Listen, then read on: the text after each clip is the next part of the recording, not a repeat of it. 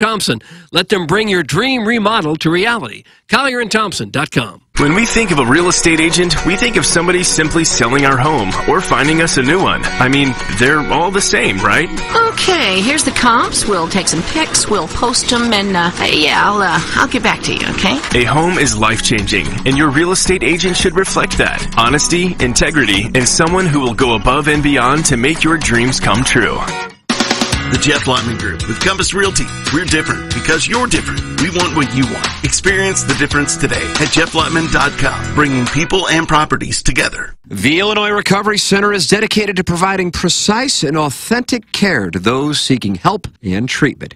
Recovery, it's not just a goal, it's a transformative journey. At Illinois Recovery Center, you'll find an unwavering commitment to provide the support, guidance, and personalized care you or your loved one needs to rediscover a life filled with purpose, strength, and lasting renewal. If you or someone you know wants more information about the Illinois Recovery Center, please call 888 472 9559 or visit IllinoisRecoveryCenter.com. Want to take on some legends of TMA? Sound the same to someone who gives a damn about the best fans in baseball! Tired of it! The it! show's so great. Will there be a little speaker system out behind the dumpster so in case you're servicing me, I'll be able to hear my name? Then nominate yourself to be this month's TMA Listener of the Month. And if you win, you'll get recognition and other stuff. Sometimes all you have to do to win the prize is be a female. All it takes is one fake girl to just throw this show completely off course. Give us your name, a photo, and other pertinent information at TMASTL.com. The TMA Listener of the Month Club, quenched by Milagro Tequila. Welcome to a brighter side of tequila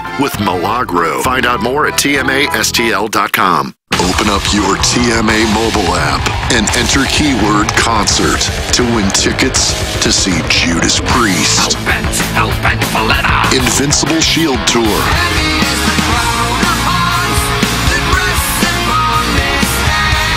With special guest Sabaton at St. Louis Music Park Sunday, May 5th. Judas Priest.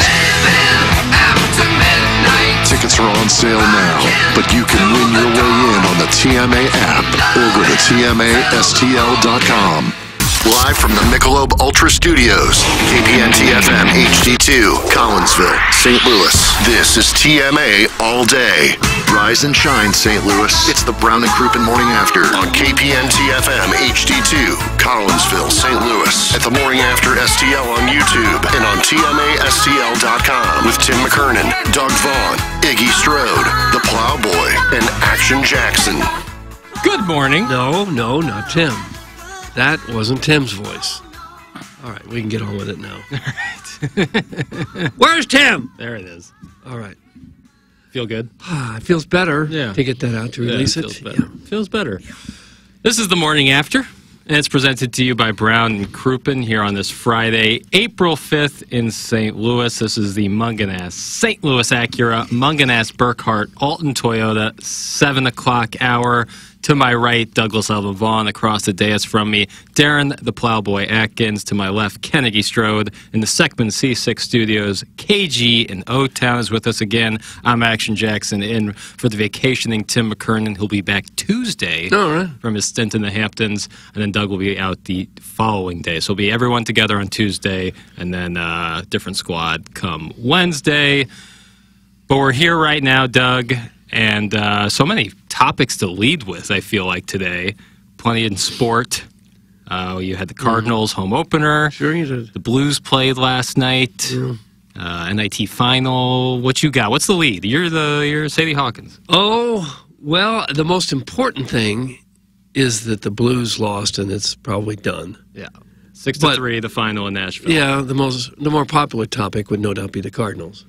Yeah, certainly the more fun topic to talk about at the moment uh, as the Blues fall six to three to the Nashville Predators. Doug, uh, I got it at uh, they are how many points behind? They are s- uh, ooh, seven points Seven behind back the with Kings. six to play. That's going to be tough. It's not happening. That's going to be not- tough. It's just not going to happen. The. Kings uh, don't have a very difficult schedule ahead of them as they they'll play the Canucks tomorrow night, but then they get the Ducks, the Flames, the Ducks again, the Wild, and the Blackhawks to finish out the season. So it's going to be tough. They got they're Yeah, up against it. It's next to impossible. If if the Blues won all of them, they could get 12 more points, and the Kings would only need what five points And they got six two points. two games against the Ducks and a game against the Blackhawks. Yeah, it's yeah. going to be. It's, it's not going to happen at this point. What makes you think the Blues could? I win love how you're seven still games? trying to piece a scenario It's together. It's not that going to might happen. Yeah, Lead they, to something. They they can't win seven games in a row, so It, it stop. It fell apart when they lost to San Jose. Yeah, that was that was that was the end of the line. That was tough. That really put them up against it. Yeah. Uh, the Blues' remaining games: Sharks tomorrow night or tomorrow, 5 p.m. puck drop. Well, that sounds like a W. that could be a W. Then they got the Ducks after that. W. Blackhawks after that. W. Then the Hurricanes. Well, Huge win. yeah, nice win. come from behind. Then the W. Hurricane. Then the Kraken. W. And then the Dallas Stars to finish out the season. Well, W. Okay, who says we still can't get in? And Gonna be this is a cup run. I'm tired of the naysayers. This is a cup run. that loss last night will help two weeks from Right, now. right, exactly. It'll help when you're When they're up your team evaluating time. drafting. Mm-hmm.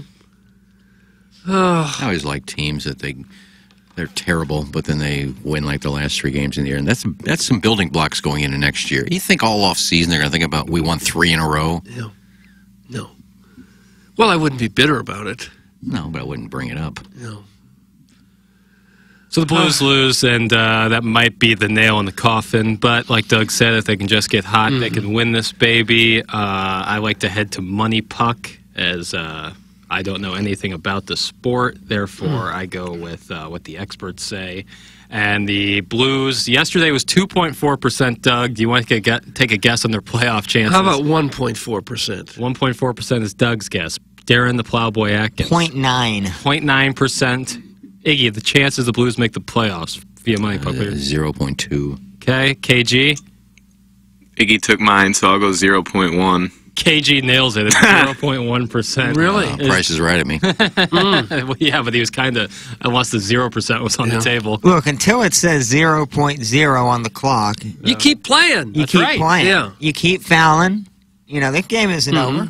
Uh, their projected point total to finish out the season is 90, while the Kings' projected total is 99.9, so 99.2. So this is going to be tough to catch. I'm always surprised that you could grow up, Jackson, Yes, in sir. St. Louis, Ladue area, no less, That's right. and not have any interest in the St. Louis Blues. Was it because they were bad when you were a kid? They had some really horrible years? Blame blame my father. There was not one time where hockey was ever on the television in my home. Not one time. This is on him. I, it was just never. It was always in the summer is bas- or baseball. In the fall, it was football, and in the winter, it was basketball. There was never Your friends didn't play street hockey or ice No, hockey? We all played basketball. None of your friends was on a hockey team. Not until like I say hockey stink.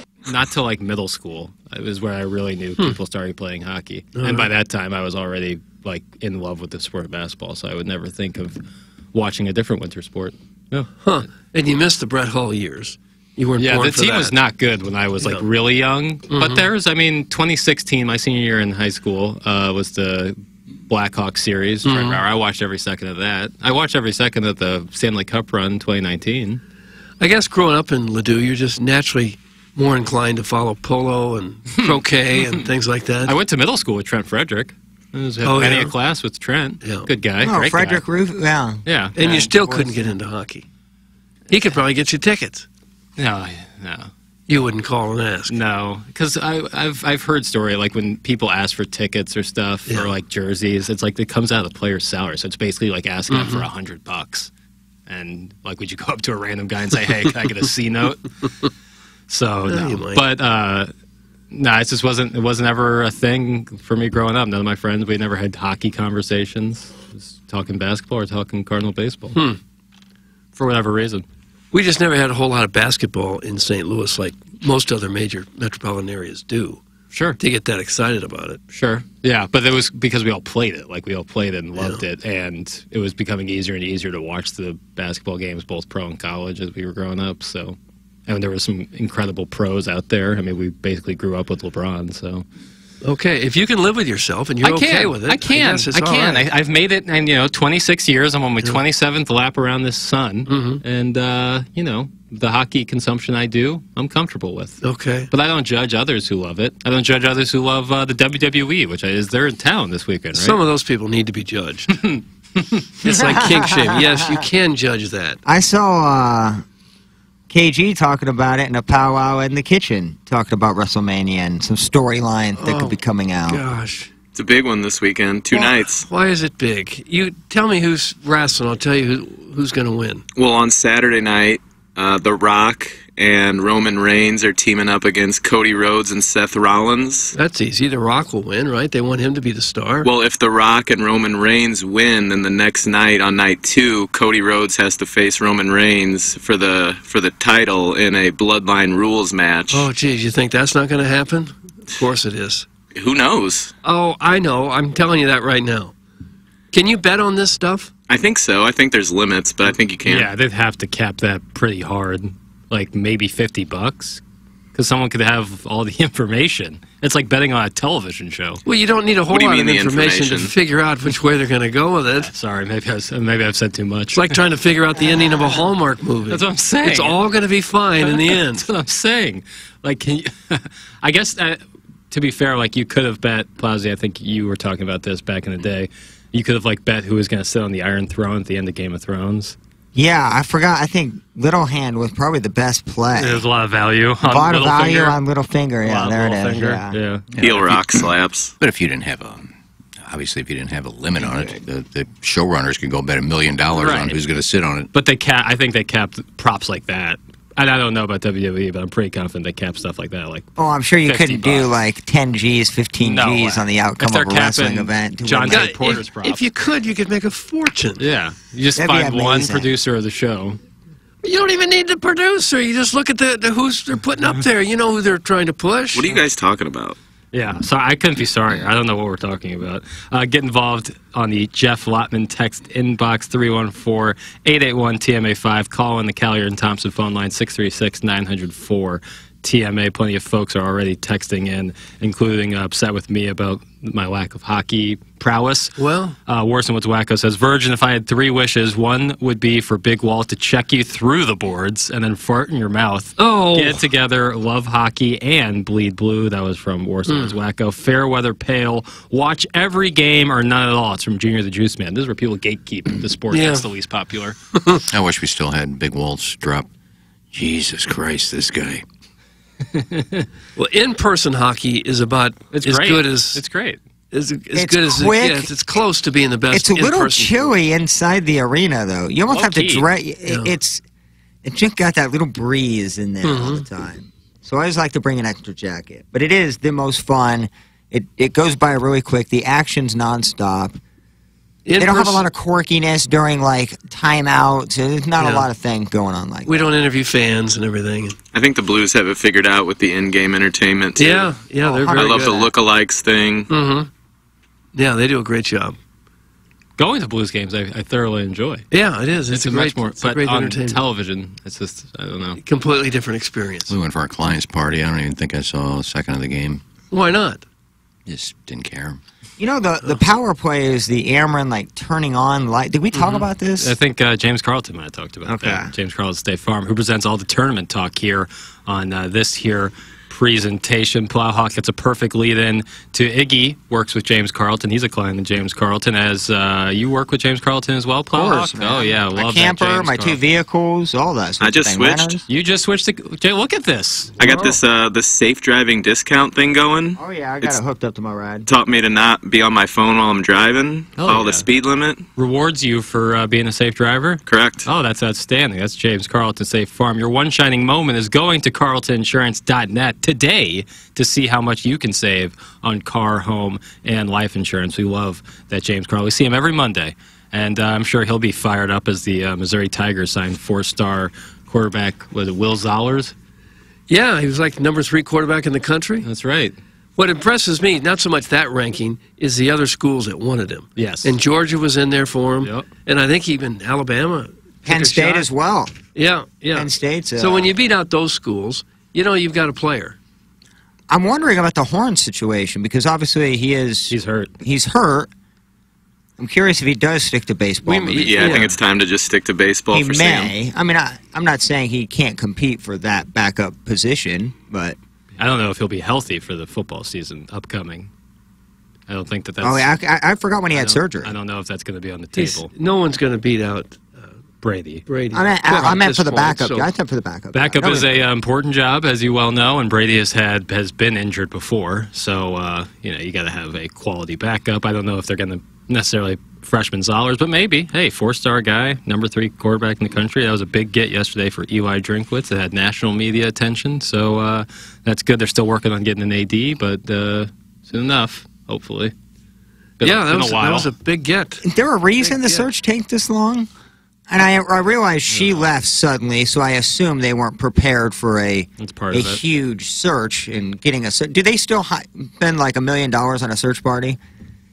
Probably. They, spend pay, a lot of they money pay on a like lot seven hundred stuff, grand for people to find like the Yeah. obvious candidate to interview. That's another business we could start here as a group. That's As a a university? moneymaker, Yeah. man. No, we could start a consulting firm to Oh, find coaches yes. and athletic directors. That's- All we got to do is call a few people, say, hey, you interested in another job? He goes, well, they might be. And we say, here's what it pays. And then we get our finder's fee. Just general Man. consultation. We just need to consult on anything. Yeah. Well, we got a lot of knowledge.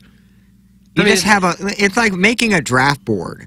Like Mm-hmm. obviously these are the best players and they have them ranked in order. Let's just let's just start doing that with the top 80s and then just start making phone calls. Right. And then start making some cash. And then cash flow and obviously bill hourly. oh, Bill. God, yeah. You All bet. the all the PJs you fly While on. we're golfing. Oh, we got to check out the AD in Hawaii.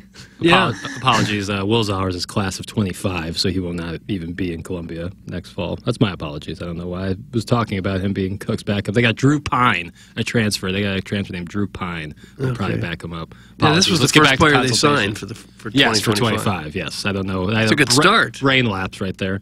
Yeah, real good start. But if you think about all the universities, I mean, you could even give little discounts to the NAIAs and the smaller schools, and you just have your 10, 15 employees. How big a discount are you talking about?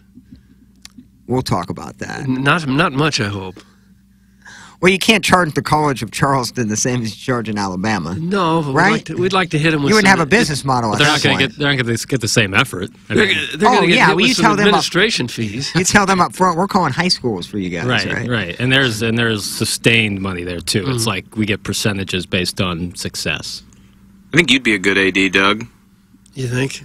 Yeah, I, I couldn't beg people for money. I couldn't do it. you're a true son. I could not beg people for money. But you know, He probably wouldn't want it, but would Pinkel be a good idea? Uh, There's a lot of be. work involved. I'm not sure he'd want There's to a do lot. it. A little old and a little rich work. to want the trouble. Yeah, it's Yeah. a lot of work. It's you, especially right now. Like Desiree Reed Francois was so like hungry and like looking to like build and build and start some. And obviously, you know, it's tough to say that when she leaves for Arizona. Mm-hmm. As a drop of a hat, but that's you know was her dream school and An where AD. she has gone to. An AD basically is a fundraiser. To an extent, but they're also kind of a visionary for the future. That's what Desiree Reed Francois was outstanding at was understanding that there was a clear vision of where the programs She took to a pay be. cut with a university in a 30 million deficit. There's got to be more to that story. I'm not going to dive in more into it, but like, there's got to be too many hands in that cookie jar at Mizzou. I, I, I, my guess is she felt that she wasn't fully in power or just had a lot of people looking over her shoulder. I don't know. But it's weird to take that giant of a pay cut with a school that is struggling financially. Even though it's the University of Arizona, they'll obviously figure You know, it it out. could be a lot of things, family things, and there's a lot of us, myself included, have taken lesser jobs, have moving away Be from closer to better home, cities to take lesser jobs, less money, to be around family. Right. It, it happens. Did I say Will Zollers? It's Matt Zollers. I real. I'm really having a tough start, Doug. I'm really. I need to. Well, I need like a mound visit. no, I think you're doing just fine. Where's he from? Georgia. He's from Georgia and didn't go to Georgia? Mm -hmm. Wow. Or I'm sorry, he beat. I'm sorry, I don't. Uh, he's Oh, not. he's he's from from Pennsylvania. Pennsylvania. I don't know. Jesus. All right, mound visit. I need everyone coming out. All right. I need a Throw to mound. break the. We need a few more innings out of you. I need a mound visit. Keep me in the game. Keep me in the game. I don't want to come out. Just give Keep us a chance. the pen. Look, Keep not every Liberatore in the pitcher can have swing and miss stuff every night. Pitch to contact. That's all right. All right. All right. All right. I'm back into it. I'm back into it. All right, we got a guy on We first sure and he's a second. quarterback? Yeah, he's, a, yes, quarter, he's a positive he's a caller. He's a quarterback? Positive. He's a quarterback. 2025 from Pennsylvania beat out Alabama, Georgia, and Penn State to get him. Mm-hmm. Hey, will back KG. up Pyne. You have some good sex yesterday. It's from the recovering alcoholic. I did not. I want to thank the recovering alcoholic for the opening day tickets, but it was a sexless opening day. Oh, you were down at the old ball yard? Yeah, I got the. I went down there pregame. Got to go up, uh, have a view fit for a chairman up at uh, One Ballpark Way. See, I saw that photo and I just knew where you were just based upon, you know, the Yeah, you- distance you've from the that view. stadium, the angle. I've seen that view before. Seen Steve's view. great and accommodating, and I assume that's where you were. Yeah, but unfortunately, no sex involved. a little a cold shame. for the pool scene, but you go there in June or July, Salt and Smee's bumping. You got Land giving up a couple bombs. Baseball heaven, baby. Baseball heaven. That's right. That's right. That's right. This is the Mungenast St. Louis Acura Mungenast Burkhardt Alton Toyota seven o'clock hour. We all use Mungenast. Plowsy, would you mind playing me a little something about uh, the fine people over there at Mungenast? We we very much appreciate all the work they do, uh, whether it be the Yeah, service typically, department. we would talk about them, so give me time to open that. That's no problem. I mean. Doug drives a whip from Mungenast right Mhm. now, and he loves it. I know. I get my There car currently serviced isn't one over saved there. in there, so we got to talk about it, son. I gotta yeah, really love working with Mungenast. Oh, they're fantastic. You know, I got Toyota both- Highlander here. Both of my vehicles landed on. It was like this. They're on the same cycle. They needed oil changes and safety and emissions because the tags were on the same month and year. Hmm. So I en- ended up taking it full service to Mungenast, took care of the safety emission, filled up the fluids, got a brand new oil change. They cleaned the inside and outside. Just snick sacking for about 35 minutes in the waiting room. What I'm sort of snick snacks did you get? I did get a Otis Spunkmeyer with a coffee. Like I said, they, Oh. have, they almost have like the four corner coffee machine. Everywhere you turn, there's a coffee machine. Yeah, you can't swing a dead cat without. Yeah, it's hitting like on the coffee. interstate, there's McDonald's everywhere you go. Right, You go to Wisconsin, coffee. there's a Culver's at every stop, just like here. Yeah. With. Otis Spunkmeyer to boot. it's not the best name for a muffin, but man, do they have the moistness of the blueberry Uh-huh. on lockdown. Well, it's synonymous with greatness, just like Mungenast, St. Louis Acura, and Mungenast Burkhardt, Alton Toyota are synonymous with greatness. Whether it's new cars, pre-owned cars, or getting your cars serviced, go check out Mungenast, Clayton Patterson, Peter Mungenast, Jamie Burkhardt, Ryan Seiberg in the service department. They're all absolutely wonderful. They'll take great care of you as they've taken care of us and so many of our listeners. That's Mungenast, St. Louis Acura, Mungenast Burkhardt, Alton Toyota, and Doug. We have a title sponsor to this presentation. I call them Brown and Crouppen. That's who they are, Brown and Crouppen, serving the greater St. Louis metro area with offices conveniently located in Arnold, St. Charles, Washington, O'Fallon, Kirkwood, and downtown St. Louis. If you've been hurt in an accident, don't hesitate to contact their legal team to set up a free consultation right now. That's right, I said it, a free consultation. You call them, explain the case that you think they have. They'll make a decision on that. And if they move ahead with it, they work on a contingency basis. No upfront cost at all to you. If you don't get paid, they don't get paid. It's that simple. Normally, they get paid. They've won over a billion dollars in settlements for their clients. The principals are Terry Crouppen, Andy Crouppen, and Ed Herman. You've got to know them very well as they come in here on Tuesdays and talk it over with us, and you can tell they are wonderful guys, very intelligent guys. You'd love to have them on your side in any kind of case. So that's who you call. If you think you may need Brown and Crouppen, give them a call at 314-222-2222, or you go to brownandcrouppen.com. Make sure to let them know you heard about it here on TMA. They will do you right. The choice of a lawyer is an important decision and should not be based solely on advertising. Past results are no guarantee of future results, and every case is different and must be judged on its own accord. Dun, dun, dun, dun, dun, dun, dun, come into town. Dun, dun, dun, Did you like the. Clydesdales? Love the Clydesdales every Yeah. single every time I can see the Clydesdales. I take I try to take advantage. They are Yeah. a majestic being, uh, and it's always great to see it because the Cardinals' home opener was yesterday, Mhm. Doug, and the Cardinals got a little victory. The Clydesdales, it's not a complicated thing. They don't do. We don't ask a lot of them. Just one simple trot around the track. all we need. And yet, it's still so cool. It's uniquely St. Louis. Yes. It's a little bit corny, but I like the dog. I like the Dalmatian on the front of it. I like Thank all you for that bringing stuff. up. Nobody brings up the Dalmatian. I feel like he gets pushed to the side. Mhm. Clydesdales are huge, majestic. They got them beautiful little hooves with Mm-hmm. the, With the I get flair. It. They got flair. They got pizzazz. They're massive. But the Dalmatians are sitting there with a nice little coat right on, that right next to the rider, well Yeah. behaved, just ready for action. I don't know exactly Mm-hmm. what they do. I'm sure there was a reason for them being on those carts in the in the early aughts, but But, but the, the horses are so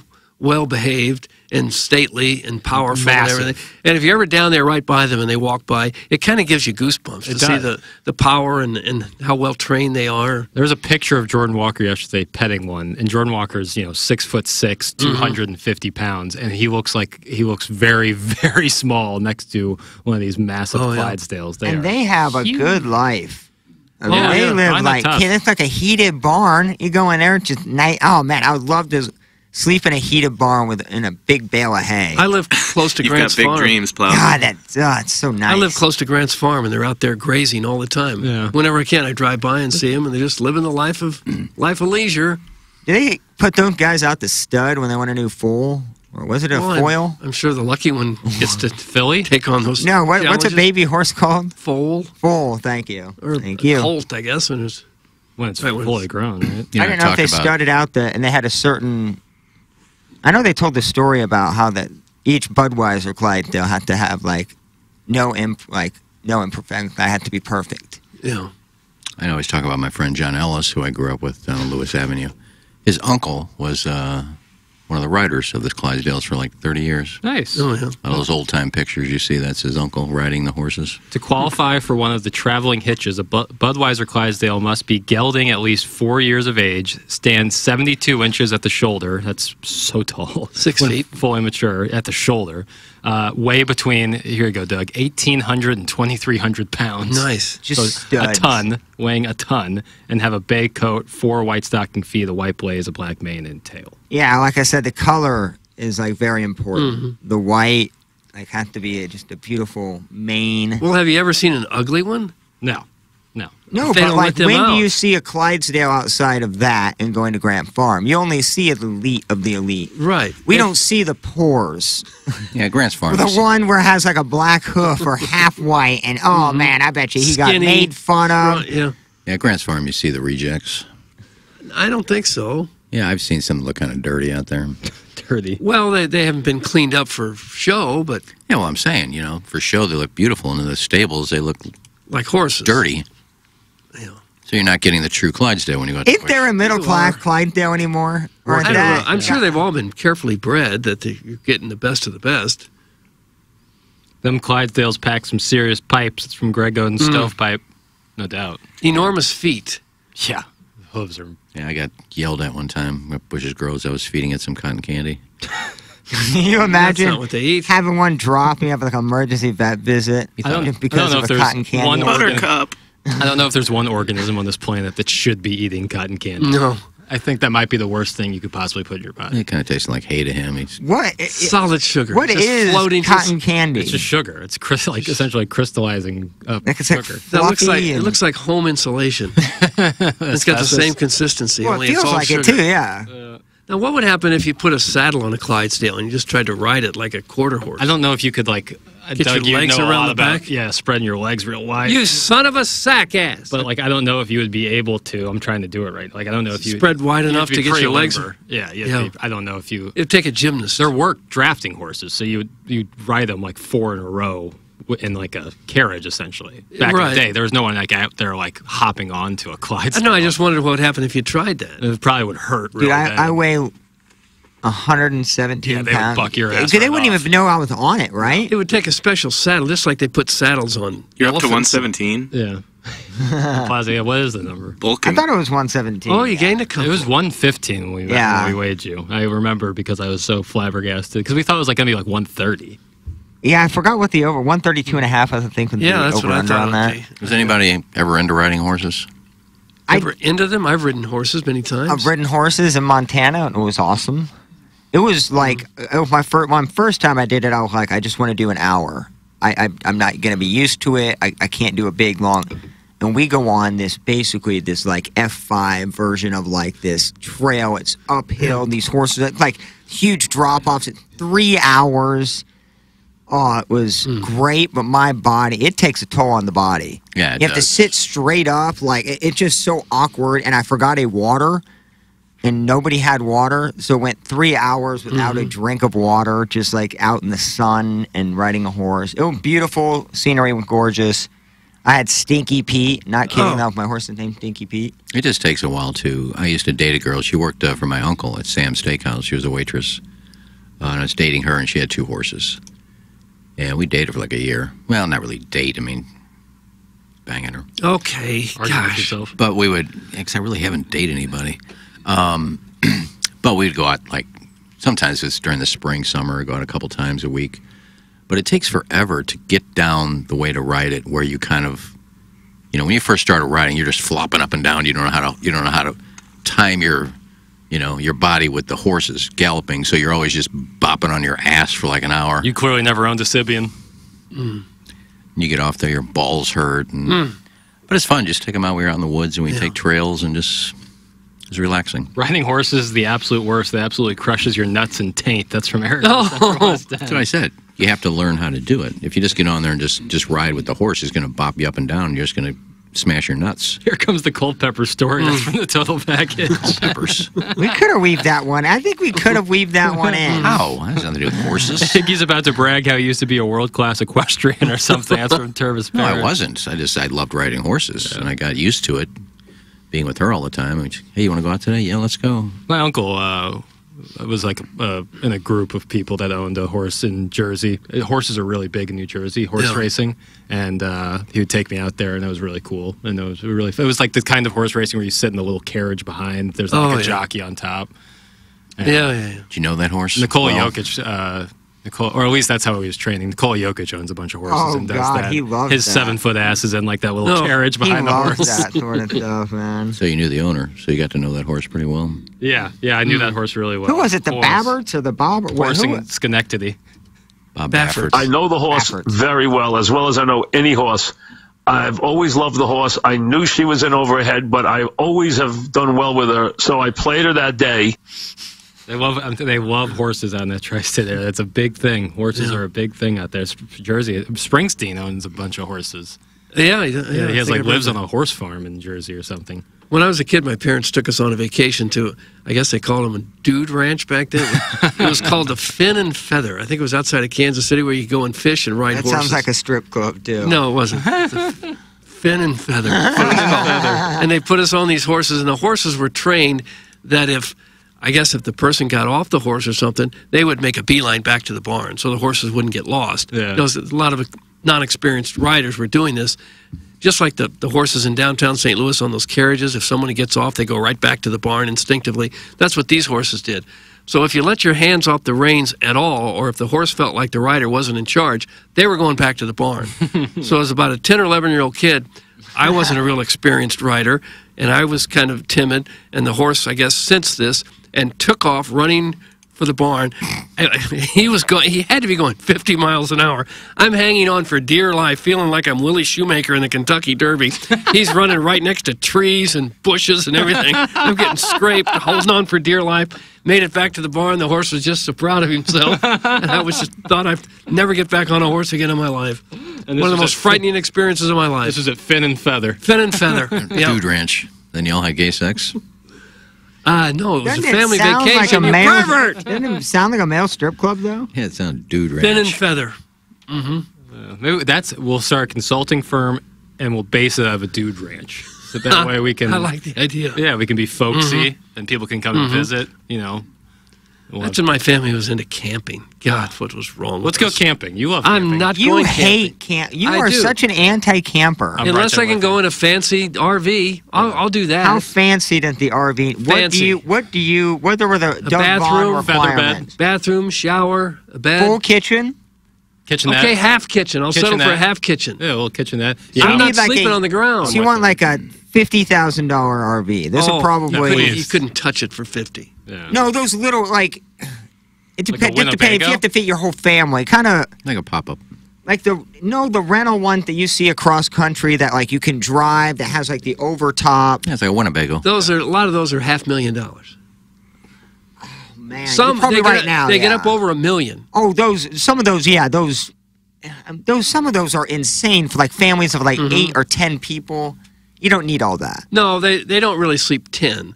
They they have a big master. They have one bedroom with like a king size bed at the at the rear, all the way at the back. But they're two couches. they have couches that could fold, out, and you could sleep maybe another four. Yeah. You'd be stretching it to sleep more than six. But the kitchen and, is and a four of those people aren't sleeping very comfortable. Full size kitchen, like Yeah. walk-in pantries, dishwasher, Yeah, shower and a toilet. shower and a toilet, Those those washer dryer. new those are up around those can get up around a million dollars. That's literally driving a house. I mean, Oh, it's yeah, nice exactly what house. it is. Yeah. but who has to drive that thing? That'd be uh, awful to drive. In the wind, it can get really They brutal. they train you to do it. Oh, yeah. But there's a there's an awful lot to do because you got to figure out the water. There's black water, there's gray water, there's white water, and you, you Which know, do you drink? You drink the white water.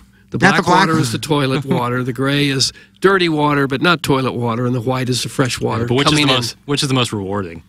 The white water. you're, you're trying to get me to say black. not the case. Who's gonna Who's gonna dump out the poop?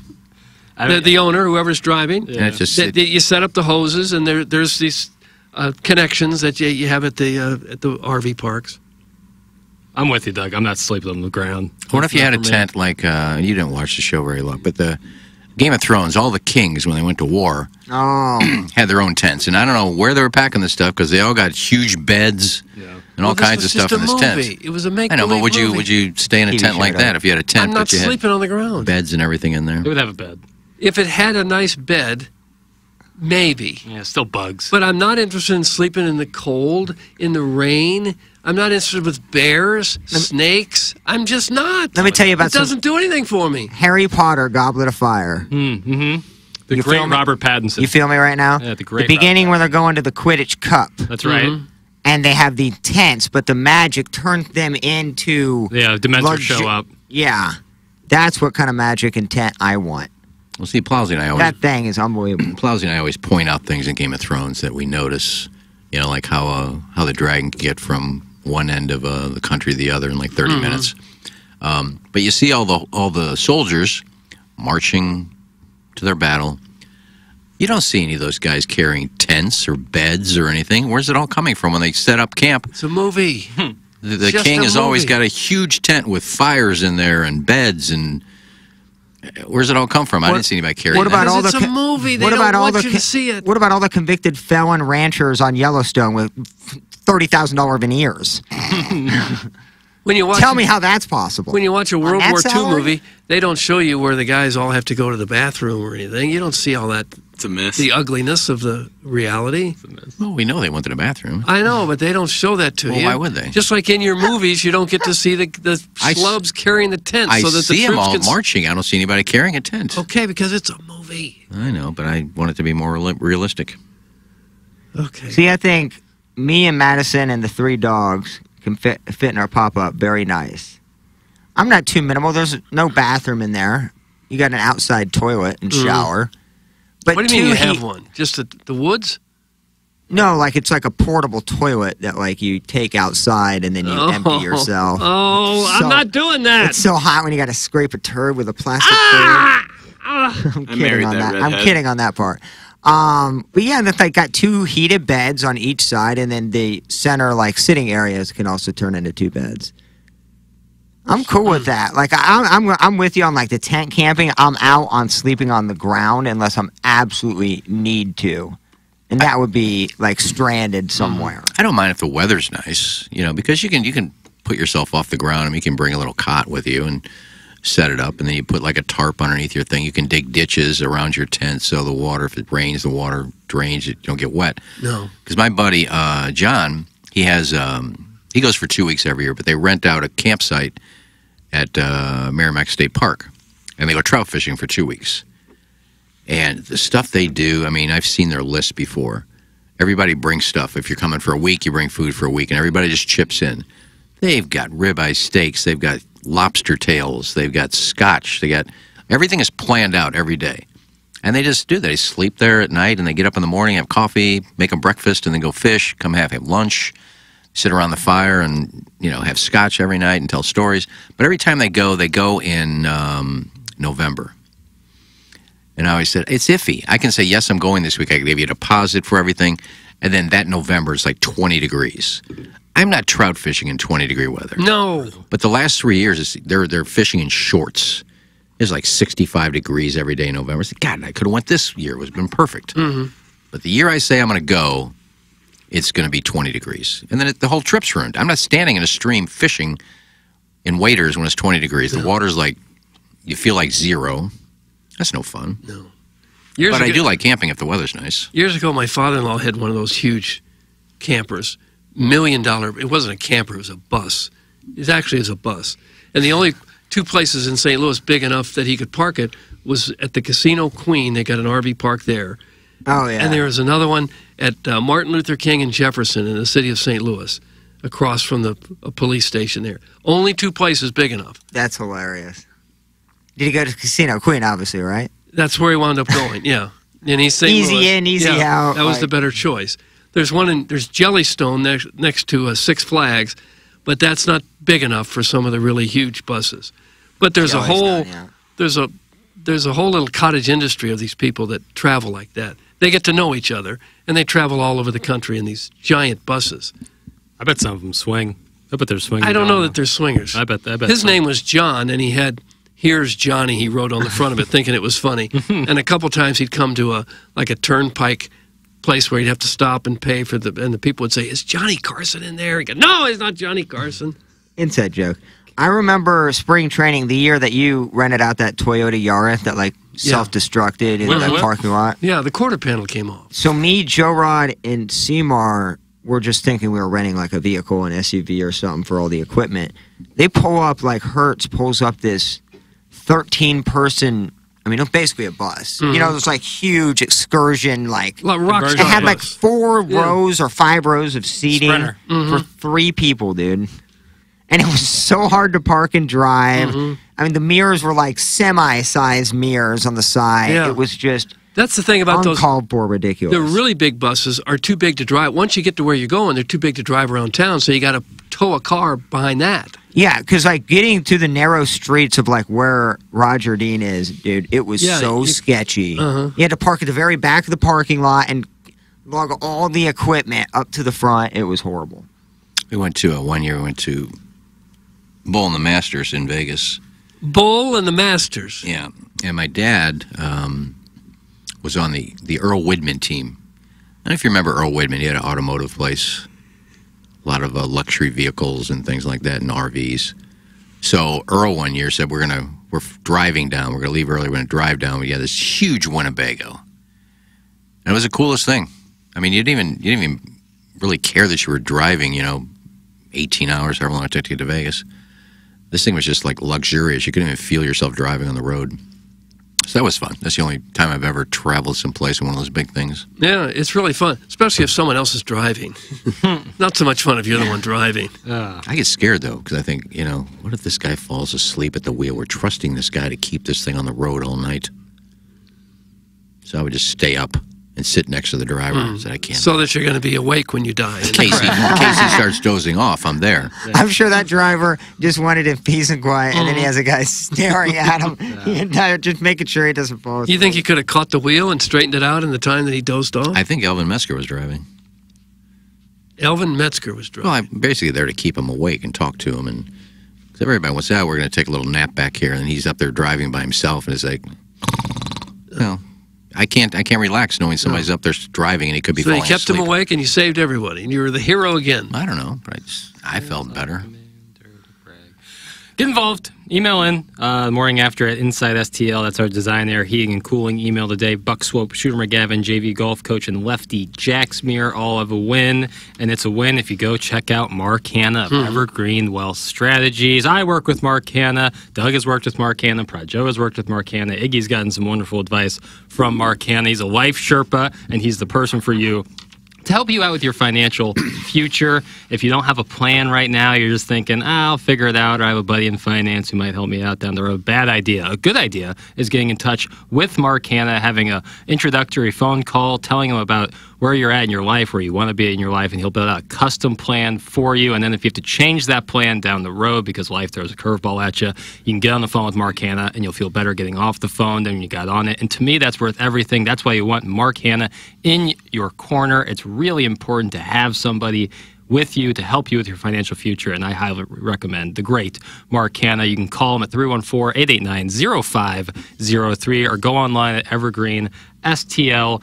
And also, Plowhawk 2060 Digital is a great spot for your business. Can I hear a little bit about 2060 Digital? Mm-hmm.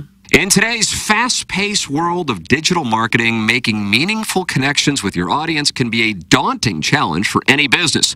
But what if there was a place where connections aren't just made, but nurtured for growth? Enter 2060 Digital, our sister company backed by a 100 year old media empire, just like 1057 HD2 TMA all day. If you are a business owner or marketer seeking more strategic ways to reach and engage customers, look no further than 2060 Digital. With 12 years of expertise, 2060 specializes in simplifying the complexities of digital marketing. Our team demystifies the process by transforming it from a challenge into an opportunity for your business. Whether it's enhancing your brand's online presence, optimizing digital campaigns, or increasing customer engagement, 2060 is here to propel your business forward. Think your business has room to grow? Let us prove it to you. Visit 1057thepoint.com slash 2060 digital to request a complimentary digital audit today. That's 2060 Digital. Doug, the Cardinals win yesterday, eight to 5 Mhm. in the home opener. They improved to four and four on the season, while the Marlins dropped to 0 and eight uh, to start off this 2024 campaign. Marlins play tight defense. They're not going to give you anything unless they make three or four errors a game. Yeah, uh, Masyn Winn damn near uh, with an inside the park home run. Uh, But the ball should have been caught. Should have been It's his caught. glove. Did I was I off to think that on Gorman's double that the right fielder was playing way too far into center? It seemed like it, yeah, because Gorman's a dead pull hitter. Exactly. That's what I was saying. I was like, he basically just pulls it. That's his problem. Is he doesn't let the ball Mhm. get deep enough in the plate. And I know he's been working on that this spring, uh, but he's still like pretty much a dead pull hitter. And he hits and like we had. I don't know if we had the audio, but Chip Caray says like, oh, and a shot. And I was like, well, it was kind of a floater that got out, there. But either way, Cardinals win eight to five. Lance Lynn, not his best performance by any means, but serviceable, giving up two bombs to St. Louis and Jake Burger. That, I just botch that name too? Is Jake Burger? It is, yeah. Okay, making sure I- CBC's own. CBC, yeah, fire up CB. He had two home runs on the day. Uh, if I could be a fly on the wall or a fly, I guess, on the mound of any, I, uh, after Jake Burger's second home run, I believe Jazz Chisholm then laid down his second bunt to get on base Mhm. immediately after that, and I would have loved to hear what Lance Lynn had to say after the second time Jazz Chisholm reached uh, first base by bunt. Well, if he doesn't like it, give him a pitch he can't bunt. Yeah, I guess. Probably said, thank God. He probably hit one out too. How come Victor Scott doesn't lay down a bunt every game? I know, right? If this is the fastest player in the league. I, I haven't seen him bunt yet. He tried yesterday, fouled it off. he, he ought to try at least one at bat every game. He Well, you ought to do something when you're hitting 50. Yeah. If he is, is he hitting that high? He's Uh, also the club's leader in runs. He's so hitting he's 100, creating offense. Yeah, he's getting, you know, getting ground balls and getting force outs and fielder's choice, and he's He's not hitting ground balls. That's the problem. He's hitting fly balls. Right. If he hit ground balls, he might be all right. But he also gets on base and he scores a lot. His on base percentage is 182. No, never mind. We really nailed that starting lineup prediction yesterday no, too. not close. Not close. No, we did not have my. But to be fair, I mean, but like at the time we were doing the show, everyone was okay, and then by the time the game started, three more players got added to the Yeah. injured list. You had Matt Carpenter with an oblique strain. Uh, he's going to be on the shelf for a little bit. How? He hasn't even been He's playing. played like one game. He, he hurt. He got hurt In the cage. In the cage, yeah. Jesus. He got hurt in the cage. Yeah, when you're 50, it hurt. happens. Look, you hi- like if you sign old people, you're not gonna have to realize these types of injuries, like bending down to tie your shoe. You could be out a couple weeks with a back strain. I've Like done these that, things, yeah. I know. Like that's what I'm saying. We've heard these stories before Mhm. at like Walgreens or a supermarket with your buddies. I got hurt plugging in a lamp at home on my knee. Oof. I just kneeled down to plug in a lamp and I mean, hurt my knee. It's no Matheny hunting knife. No. There's a few stories about that. Yeah. Like player that have gotten hurt and, And some God- now have contract that says you can't do this in this. Certainly in the a consideration when you talk about signing free agents that are that age, because this is a real thing Yeah. where they're much more likely to get hurt. Brendan Donovan, uh, after getting hit by the pitch on uh, Wednesday, he's out, and then Willson Contreras keeps getting hit in the hand, Doug, and Yeah, uh, it's not their fault. Swelling Yeah. went down. They said, ah, let's uh, let's reevaluate Willson Contreras. But when you got a guy like Ivan Herrera who can catch like he does and hit like he has, home run yesterday, you feel okay. You feel Herrera okay. looks like the real deal. Yeah. They've been saying that this guy's really going to be a good catcher. And Seems it pretty looks like he is. cool, calm, and collected, and hitting four spot there. Yeah. yeah, With bomb a tater. opener. Yeah, a With little tater, uh, RBI knock. Uh, it's good to see Ivan Herrera. Uh, they're really uh, short on right-handed bats now. Yeah. Uh, with Yeah. uh, all the injury. I mean, even with I guess when the guys come back from injury, everyone outside well, they don't. Is They don't. They don't like right-handed hitters. That's why they moved to Rosarena and Garcia. That's right. They actually, yeah, they despise Lefty it. season. No, we got back to that, didn't we? Yeah, that's, that is what it is. They, But, yeah, uh, they got to get something out of the outfielders like Burleson and, and Walker and Scott. They got to start hitting a little bit. You got to get Walker going because I mean, this is your. You don't want a sophomore slump. and you're kind of in a position to where you know. The one guy we're worried about is Winn, and I think he's leading the team in average. I think big old Yeah. triple Yeah, he's yesterday. great. Yeah, he's been outstanding. Uh, Siani's hit well. He's betting zero. I've never heard of the guy in my life until I saw him make that diving catch in the first. Yeah. I'm like, okay. Great defense, great on defense. He's great. but- yeah, but I well, and obviously the injury situation is contributing to him. Did they have one bench player yesterday? Was that it? I heard Cusumano say that on Channel Five. I wasn't for sure if that was accurate. Or trying think. I guess because he had Siani and Burleson starting. Yeah. So Crawford would have been the one guy off the Yeah. bench. You just don't need many anymore with the DH. Contreras is Yeah. out too. As long as you got a guy you can catch in a pinch. That's right.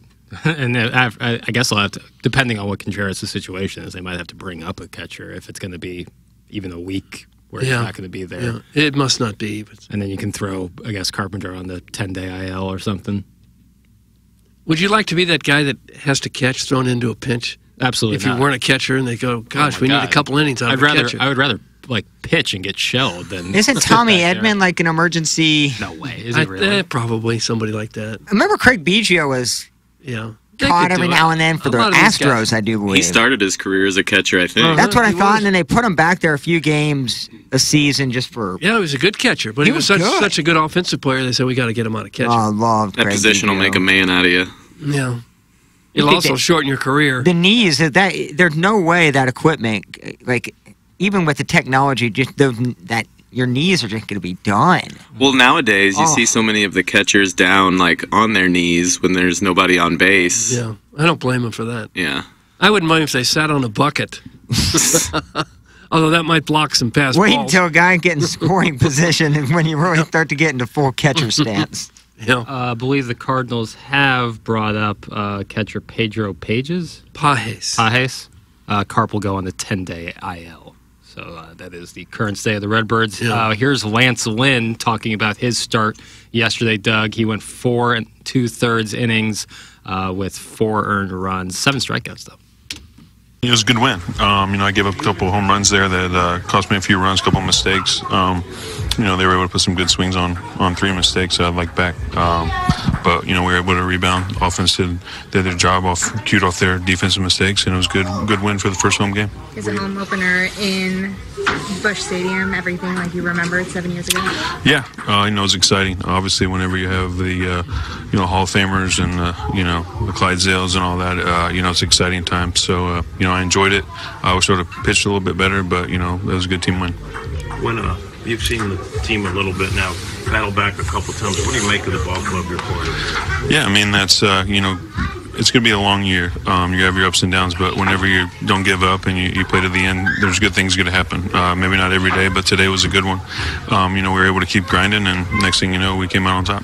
With uh, the mistakes that you made, I don't know if it's colder, but just just stuff that happens, or something you take away from that? Yeah, I mean, obviously, uh, you know, all in all, I threw the ball well. Stuff was good. Uh, just make sure that maybe some pitch selection, maybe a little differently. Uh, you know, maybe that third time through, uh, you know, change up some some things here and there um, as we get moving into the season. But all in all, you know, for my second start, I feel like I'm throwing the ball well so far. Now it's just trying to find a rhythm and, and get going. Some of the younger rookies in the background need to learn to be quiet when he's doing It's this. not like there's a tickle me Elmo back there. that was Victor Scott and Masyn Winn back there playing. Right. Who, who gets the ham sandwich? As media people, we feel compelled to ask them about the opening day pageantry and how was that and the sea of red. How what's were your like? nerves? Mm-hmm. I tell you what, the B fibs did not seem real happy with our guy Mo. I, heard, I saw that. I was boos. shocked by that. Were there a lot of boos because they kind of toned it down on TV? You I mean, it really wasn't hear it. wasn't crazy erupting of booze, but it was audible for sure. And then all the players he signed, yeah, they got booed for. He got standing ovations probably.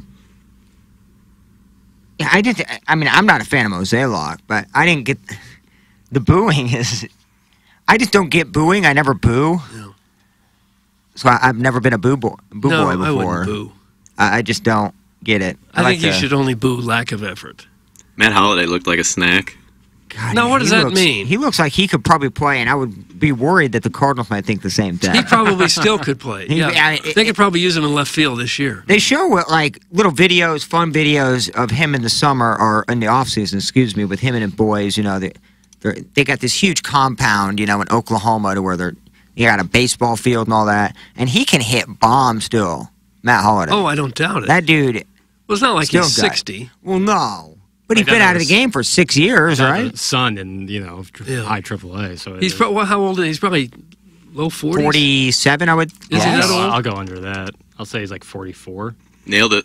Nice. Forty-four, really? Oh, yeah. I'm sure he could probably still hit 230. He could probably hit like what the Cardinal outfielders are That's what I'm hitting now. That's amazing. He probably looking at the game going, I could probably get twenty million for a one-year deal. Well, that's, that's the age group the Cardinals are looking for. So maybe they thought he was a little young. I think with the the rotation, we talked about this. I brought it up, and that Cardinals won, but you're gonna have to win like eight five, eight six, because Lynn and Gibson they've looked pretty good so far, but they're gonna give up four or five, a couple bombs and a couple innings, and that's when you need your offense to really start. That's why Jordan mm-hmm. Walker needs to step up a little bit.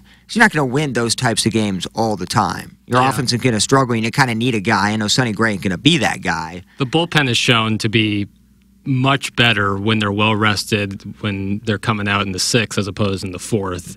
And so I think if you get more of that, even if you're giving up four, maybe even five runs from starters, but they're at least going deeper, I think you're going to see a lot better results. Because oftentimes the Cardinals struggle when the bullpen's depleted. We saw that happened on on Sunday in LA. When the bullpen's depleted, you get a lot of issues. Yeah. It usually happens in the third game of the year where bullpen's depleted. I mean, they've played seven straight games. I'm talking about, I'm Eight talking about games. L.A. where after two games the bullpen was depleted. I want to know how many jerseys Lance Lynn will go through in the summer. With the Fanatics jerseys now, they're so thin. through Uh, you- Like for TV purposes, I would assume he would have to. I mean, he can get out show like nerps and things like that. Like it's gonna be. He could wear three or four jerseys a start in July. And I would bunt on that guy every time too. Yeah, he ain't getting over there. Ain't, Jazz Chisholm is also an outstanding bunter and super fast. So, but like, yeah, I, I agree. Like Victor Scott is a guy who could totally just lay it down. He and- should. and just once once an at bat every game he should. Definitely, definitely. He's uh, obviously got the super speed. Masyn Winn yesterday. Plazzi, can I hear the audio of Masyn Winn following the Cardinals' home opener win against the Marlins? Uh, close to it. He obviously want the live balls been hit pretty Uh, I hard. wanted the This one down this the line. That's not- This is great, Doug. It's off the glove in the corner. Here comes Burleson. He will score. Winn flying toward third. They'll hold him up. The Cardinals add on. We might have an inside park home run right there for a second. I thought they were going to send him. I don't might as well do it on opening home opener. Two outs in the inning. The I ball guess. should have been caught. Yes, it should have been If caught. that's your right fielder, you're saying, why don't you dive a little bit? Leave your feet if you have to. You got two runs on the on the table there. And if you're not going to catch it, at least get in front of it so that it doesn't go careening. I, same play kind of happened on Arenado's uh, double where he hit it down the line. Mm-hmm. The guy was like, I don't think I can catch this, but I'm going to run past it anyways. and They're then pretty generous to give him a triple on that. Take it, but 100%. that ball's got to be caught. 100%. Nolan Arenado getting right, three hits yesterday. He often, dug on home openers or opening day, kind of tears it up, and uh, yesterday was no different. He got right. He's He had, we had one hit. Nolan Arenado? Oh, I thought you said Gorman. No, no.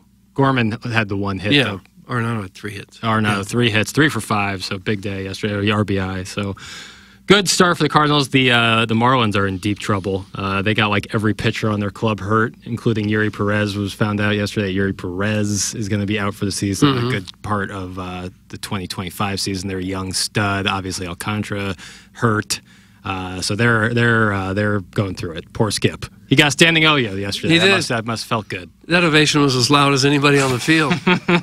but when you go 0 and 8 to start the season, you may not recover from that all That- year. that's like you may never come back. That's really tough. That's and they're in a tough division already. It's uh, I have a buddy when I went down the Florida Gulf Coast who loves baseball. He's a huge, huge baseball fan. Loves the Marlins, and he is just having a tough, tough start. Oh, to I bet, He was texting me. He's just, But he's they still have. They've had decent teams in the past. I mean, I would hate to be a pirate fan over Yeah, that'd be way- that'd be way worse. Marlins have a, a ring. I mean, they get rid of Two. all their good players. That would be like crazy to me. watching as a fan, seeing Miguel Cabrera and prime go to Detroit for 15 years. How about like Yelich, that. Ozuna, and uh, Stanton? Stanton, and then you had Beckett obvious- too. Remember Josh Beckett went JT to Realmuto. Renteria. Dontrelle Willis. And your best pitcher died. Yeah, Jose Fernandez. That's kind of what started the uh, the Mhm. exodus out of Miami for a lot of those studs. They had a really good team. That, that but was they that draft 2016 team was well. sick. it Oh, they seems draft like really they draft well. really They well, but really they can't well. keep the players. But that's kind of, the I mean, we see something similar to an extent with Tampa, where they draft unbelievably well, and then oftentimes those guys don't stick around for post arbitration, just because there's more money to be made by if the Yankees or the Mets or the Padres or the Dodgers are going to offer you, you know, a lot more. You're going to go make. well, they that just money. wait till the Cardinals give up on another 23 year old outfielder and just snag him. Okay. right? Like that's isn't that the game plan for the Rays? Mm. Well, Miami's 0 and 8 start is far from the worst start ever. I remember one year Baltimore started like 0 and 21 or something. Cal, Really? Rip, Cal Ripken Sr. was the manager. He got fired about halfway through when Cal was still one of the best players in baseball. They fired his dad as a manager. Yeah, they were like 0 and 20 or something. 0 and 21. Worst starts in MLB. So you're uh, you're basically in sell mode by like May. Well, after two weeks. Uh, yeah, the 1988 Baltimore Orioles had the worst start to a season in modern American baseball. Uh, they they finished. Uh, they started 0 and 21. Oh, yeah, 0 and 21. That's a rough. That's a rough start out of the gate. And they finished that year 54 and 107. Well, they, they bounced back. I was gonna say they kind of turned it around. yeah, they got right. Oh, that's brutal. 0 and 21. Yeah, it's not. Try to sell a ticket after that.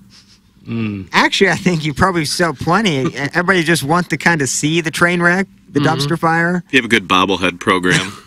You gotta, yeah, you gotta really dig deep into your promotions and giveaways at that point. I mean, you almost have to give, you know, maybe some seats of the stadium Mhm. in the upper deck. Just start handing them out to the first thousand. Well, they had a fun start in uh, April 4th, 1988, when the Brewers defeated the Orioles 12 0, setting a record for the largest margin of victory in a shutout win on opening day. But then they finished the season by Curt Schilling making his major league debut.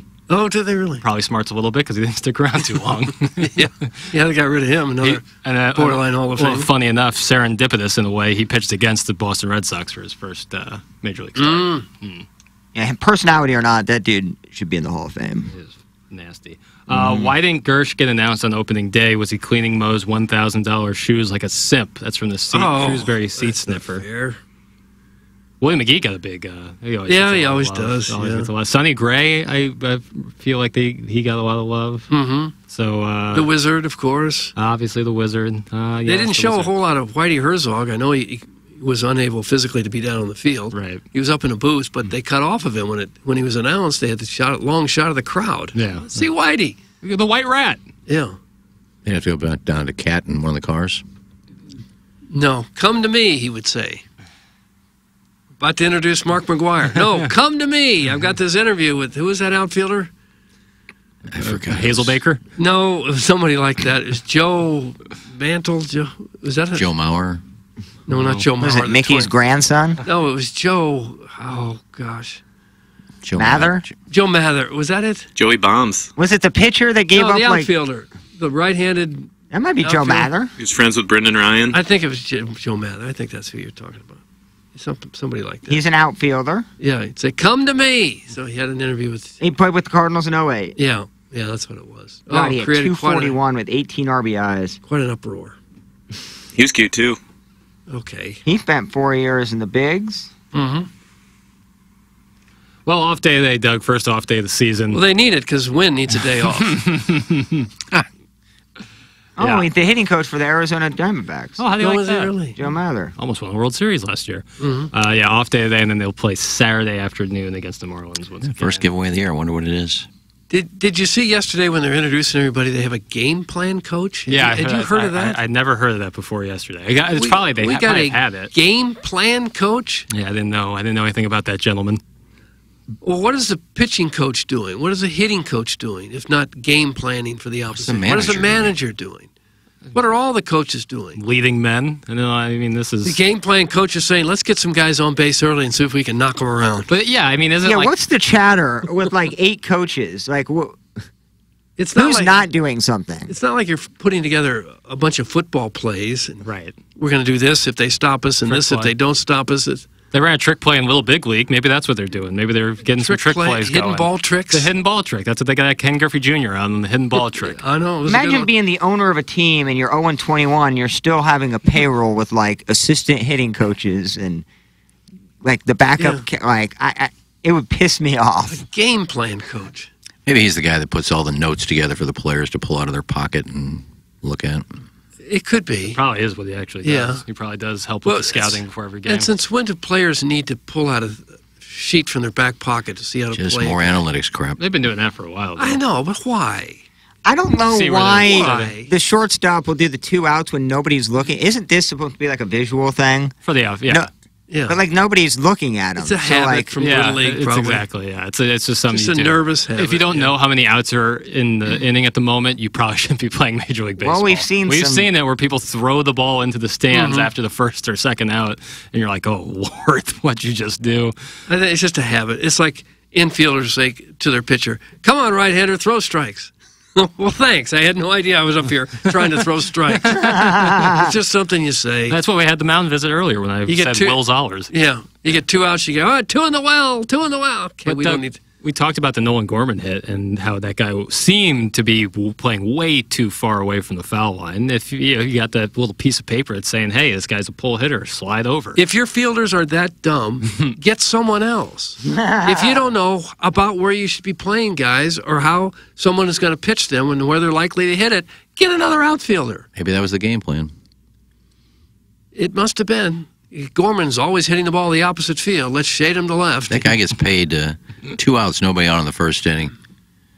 He's that game plan coach. What are we doing here? Uh, Get on base. All right, baby, get on base. Game plan. Let's go. Get on base. But that's kind of the nature of baseball coaching in general. Like at this level, what are you going to tell Paul Goldschmidt about hitting a baseball that he doesn't already know? You know, Yeah, it's these nothing. guys. These guys, it's, they either do it or they don't. You know, pitching changes and strategy like that is very important. But the Yeah, actual yeah. coaching of the players, Yeah, guys like that, you probably just try to help them with their confidence. yeah, than establishing a good culture in the Yeah. locker. In the I couldn't imagine being like Arenado and like having Marmol after a tough week coming up to me and Mm-hmm. trying to give me like advice on swing tips. And Well, I mean, even the pro golfers have coaches. Yeah, right. Oh, 100%. You can you can get into a rut, not realize you're doing something, and a It's always a different good- set of eyes. Exactly, pick something out. eyes. but what does Arenado need to do? Drop his shoulder or need to keep his shoulder up? What? One, what back, the? get back to the one-handed swing. He's always holding on to the bat. It seems like too long. Yeah. Son pitches off. Let's let's let's let that power get out. Do pro players say, "Hey, bada bada, hey, bada bada"? So wing, Definitely, bada. yeah. It's They stopped that because it was it was too hurtful for the hitter. Can you do that? You can't do that in little league anymore. No, But can you do it in like professionals? Like, uh, is there an actual rule about? I think you probably could. They wouldn't hear you. You're Why not? hey, I- better swing better. They, You have to say it like, you can't do that in God, little league would anymore. They won't That was let you like- do that, no. that's all we did the entire game. We did was too. that. Yeah, but now it hurts the feelings of the hitter, so you can't Man, do it. That I, I wish I wouldn't have known that. Mm-hmm.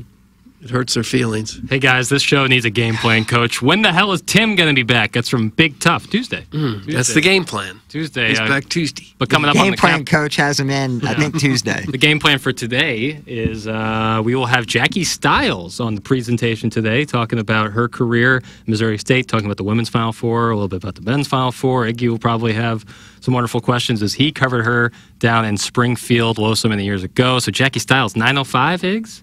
Uh, yeah, whatever. So we can take that break.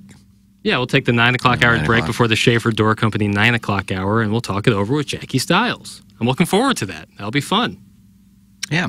Hopefully you guys got some questions. I mean, I got tons of questions, but I'd like you guys to participate. In I'd like to talk bit. about the uh, the women's Final Four and what she thinks, and uh, the current state of women's college basketball and, and basketball in general for the women's side. I'm very interested in that, so Yeah. uh, I think it'll be a fun conversation. I'm not sure or not that I'll bring up the fact that I said on the show that she's better than Caitlin Clark. She may get embarrassed if I say that. I would have a feeling that she will say, "I am not better than." Caitlin Oh, sure she will. And she wants she once sprained her right wrist and scored 25 left-handed. That's crazy. That's crazy. There's stories about like Larry Bird doing stuff similar Hmm. to that. Hmm. Well, we'll have her coming up. We'll also have the Design Air Heating and Cooling email of the day on this Friday here in St. Louis. It is 8:13 in St. Louis. That means it's time to close out the Mungenast St. Louis Acura, Mungenast Burkhardt Alton Toyota 7 o'clock hour. And we'll be coming up with more of TMA presented to you by Brown and Crouppen. Live from the Michelob Ultra Studios, KPNT FM HD2, Collinsville, St. Louis. This is TMA All Day. This is the one. Honey, I think you're right. This house has everything we've ever dreamed of a huge master bedroom, an open kitchen, and a backyard with a fire pit and built in grill. I'm in love. I can't believe it. Finally, our dream home. It's absolutely perfect for us. We owe our realtor big time. No, you don't. We're just doing our job. At the Jeff Lotman Group, helping you find your dream home is our top priority, bringing people and properties together. To get started, call us at 314 406 8911 or visit us online at jefflotman.com. Biggie's Restaurant and Bar has been a staple of the community for over 30 years and is serving your favorites like the steak sandwich, waffle fries, and so much more. It's not just the food that's rocking. With a full bar and patio, Biggie's is the perfect spot for lunch, dinner, and a little laughter. Biggie's original hours are back. Open 11 a.m. till midnight, Wednesday, Thursday, and Sunday. And 11 a.m. till 1 a.m. on Friday and Saturday. Check out the full menu at biggiesrestaurant.com and stop in today.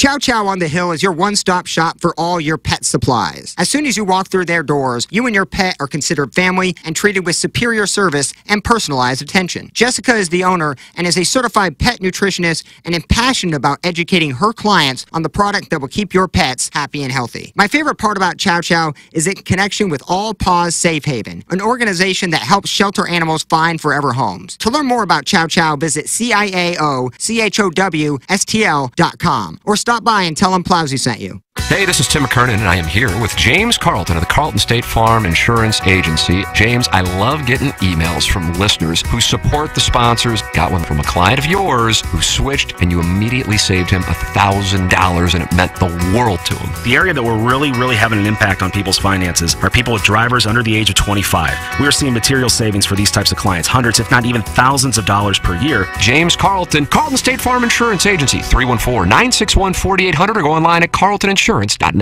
Bet like the pros with the world's largest sports book right at your fingertips. Circa Sports is now available in Illinois. Hi, I'm Derek Stevens. I've been a lifelong sports bettor and I'm the owner of Circa Sports. We're excited that the Circa Sports app is now ready for action. Experience big app bets with high betting limits, tight money line splits, and more. Now you can download, fund, and bet like a pro from anywhere in Illinois. Download your new bookie today at circasports.com. If you or someone you know may have a problem with gambling, call 1 800 Gambler or text ILGAMB to 833 234. Hey, this is Tim McKernan, and I am here with a great TMA sponsor, and that is Longo Biggs Injury Law Firm. And you may hear a bunch of out of state law firms advertising here and there, all over on billboards and so on and so forth. But the thing is, oftentimes their goal is to just settle and move on. And that's not what you guys do. Yeah, this is CD Longo, and you hear us talking a lot about maximizing the value of cases, but what does that actually mean? Well, as Tim said, there's lots of personal injury lawyers in St. Louis, and everyone handles cases differently. We focus on getting the highest dollar amount for your injuries, not just getting a resolution quickly. We're constantly tracking all the settlements and verdicts in the area. This helps us advise our clients on whether a settlement offer is too low. And if the amount of compensation being offered is too low, we are happy to file lawsuits and proceed to trial to ensure our clients receive an amount that is fair. Visit our website or Google us at Longo Biggs Injury Law. The choice of a lawyer is an important decision and should not be based solely upon advertisements. John, I'm so tired of this kitchen. We haven't updated anything since we moved in. The stove looks like it's from the 90s, and the rest is. Are you even listening to me? Did you say something, honey? Yeah, yeah, no, kitchen's fine. We have cabinets. There's food in the cabinets. We're good. Oh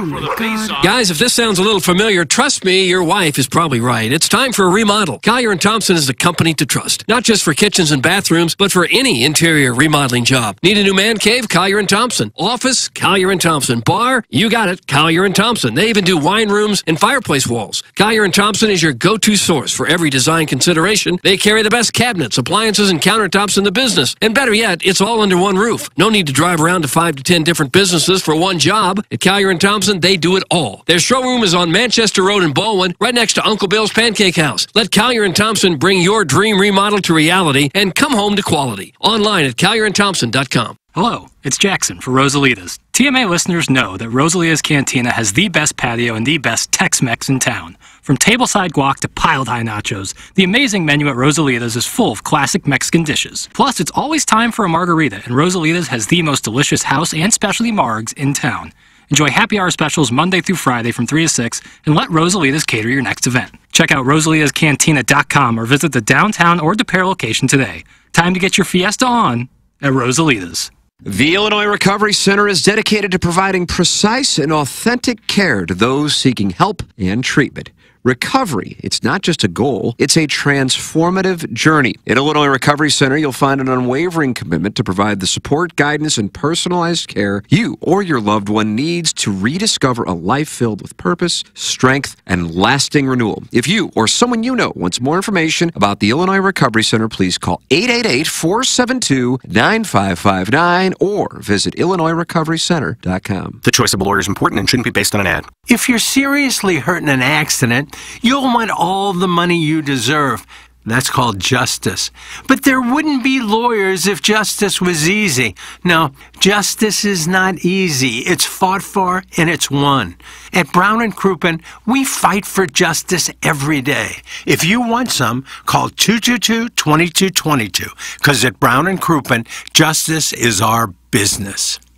Hey, if you like the morning after, check out Balloon Party on 101 ESPN. HD1, by the way. It's sports talk with Tim McKernan and Action Jackson from 10 a.m. to 11 a.m. each weekday, right after the morning after. It's the worst named show in the history of radio, but the content's pretty good, so check it out on 101 ESPN or get the podcast on the TMA app. It's the Brown and Crouppen Morning After. On KPNT HD2, Collinsville, St. Louis.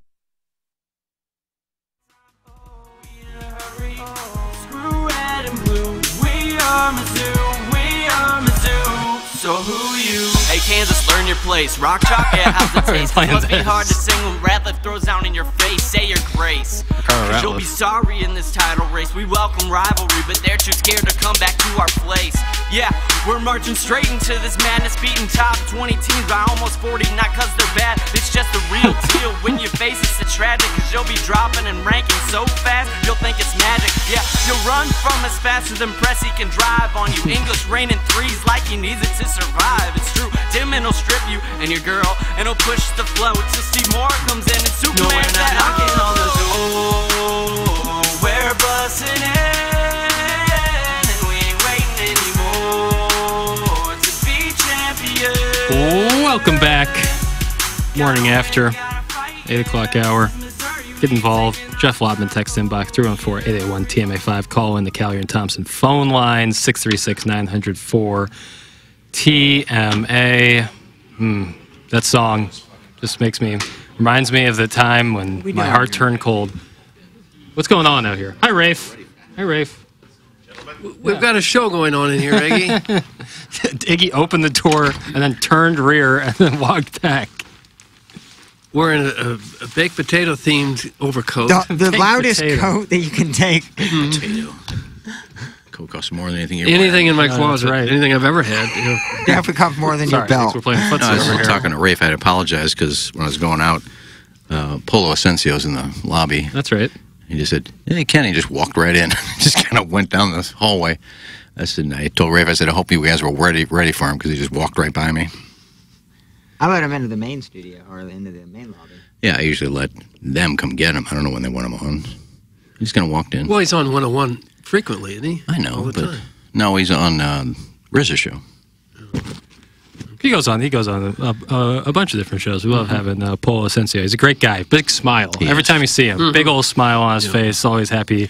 Yeah, last year for Gobble Bowl, he donated a foursome, or not a foursome, uh, tickets for four in the box seats uh, on the game, on the field pregame, and then a visit up to the uh, Spanish language booth with him and um, Bengie. How many listeners do you suppose they get for Spanish language Cardinal broadcasts? Eh, Quite a few. I think, or they wouldn't keep doing it.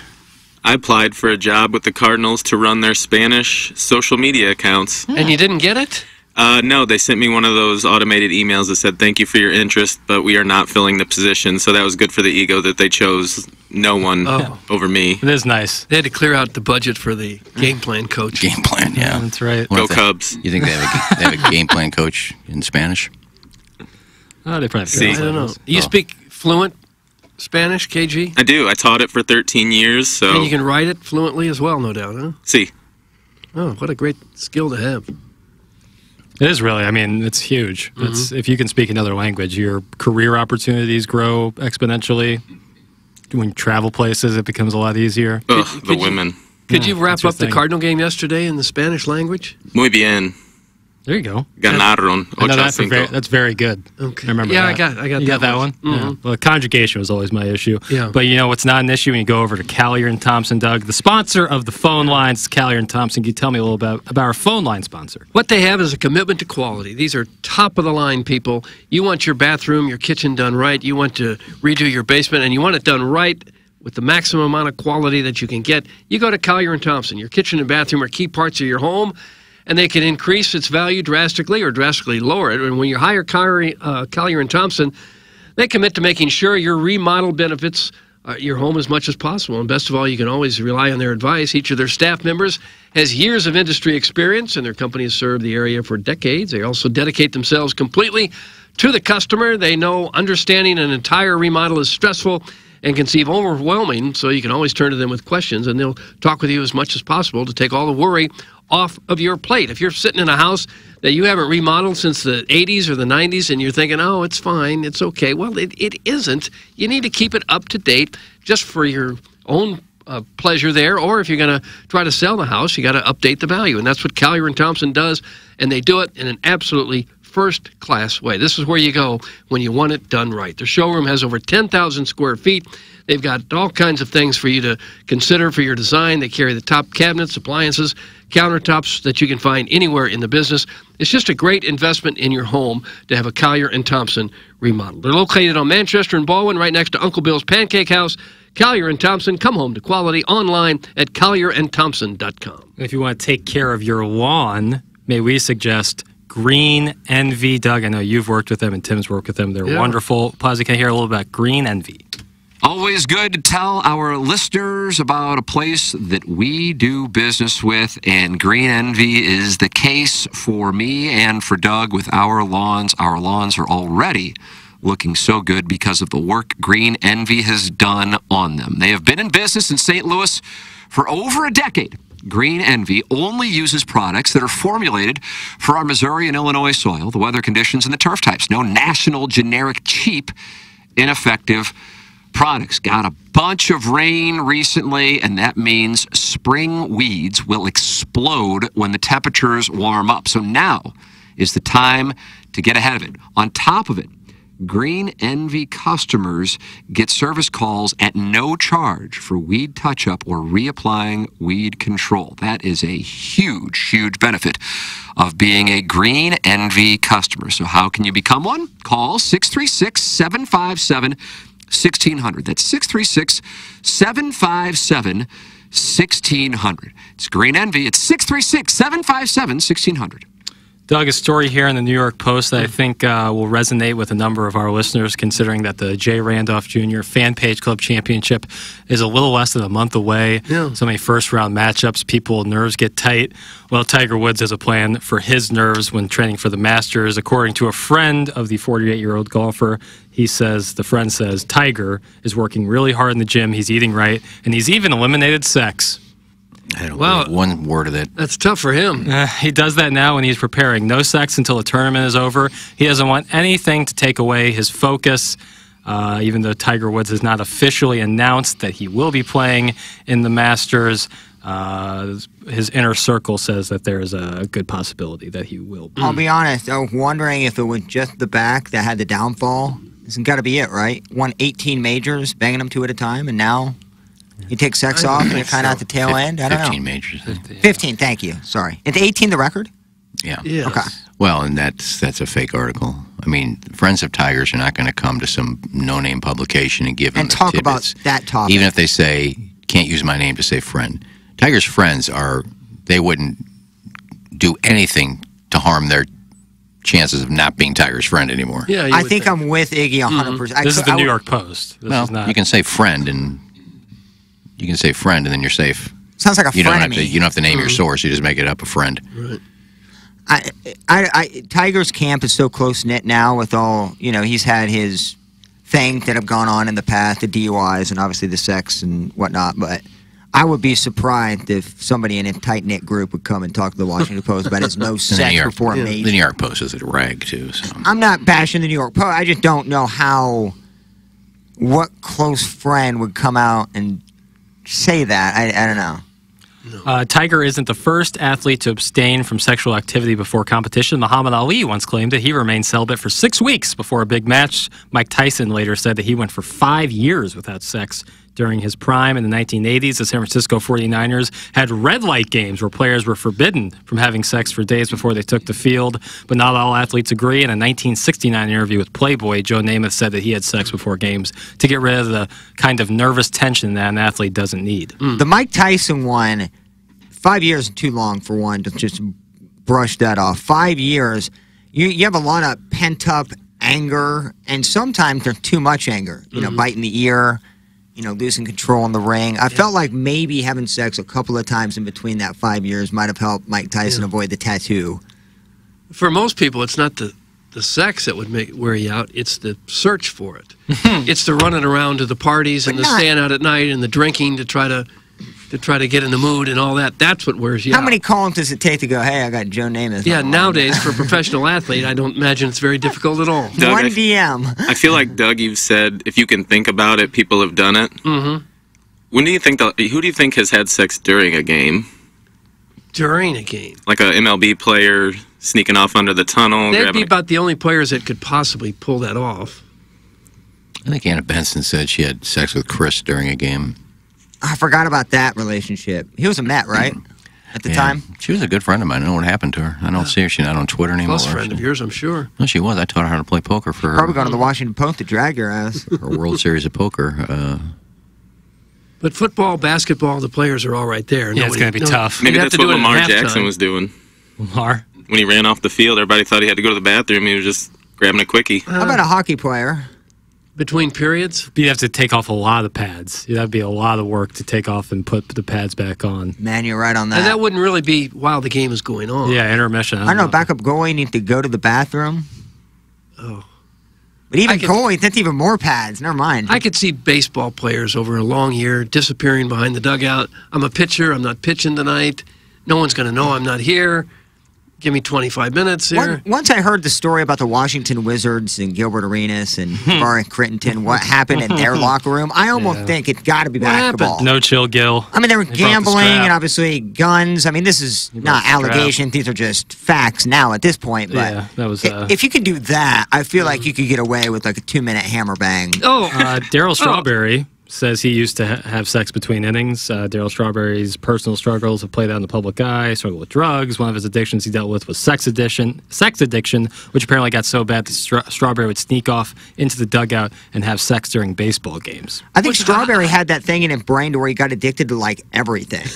yeah, it's true. Like I, I I feel like everything he did, he went Well, yeah. hardcore in the paint. I feel everything. like part every of that- drug, yeah. sex. Part of that like th- constant thirst for competition is, I guess, in part an addictive personality. You know, when you talk about like Jordan, the guy who said he was addicted to competition, a lot of that comes with gambling and other things that might, you know, if, if you have that uh, where competition is is so addicting and you have that kind of mindset, it probably would. One could believe that you could get addicted to other things as well. But how would you get the women down there? I mean, you got hookups with the security team, I would assume. Yeah, but the game plan coach is part of his responsibility. yeah, this game plan coach needs to write a game plan for how this gal gets and sneaks in the back way, goes in through the tunnel. Don't you uh, also have managers and coaches, teammates that would say, wait a minute, what are you doing? I guess you'd have to be like one of the best players in baseball to get away with stuff like you couldn't be hitting guess. buck Yeah, I- I couldn't imagine Jim Leyland being okay with that, you know, like a guy like that. But I love that documentary, Dwight Gooden, and I don't know if it was a 30 30. It was with Dwight Gooden. It was about. when he pitched on acid.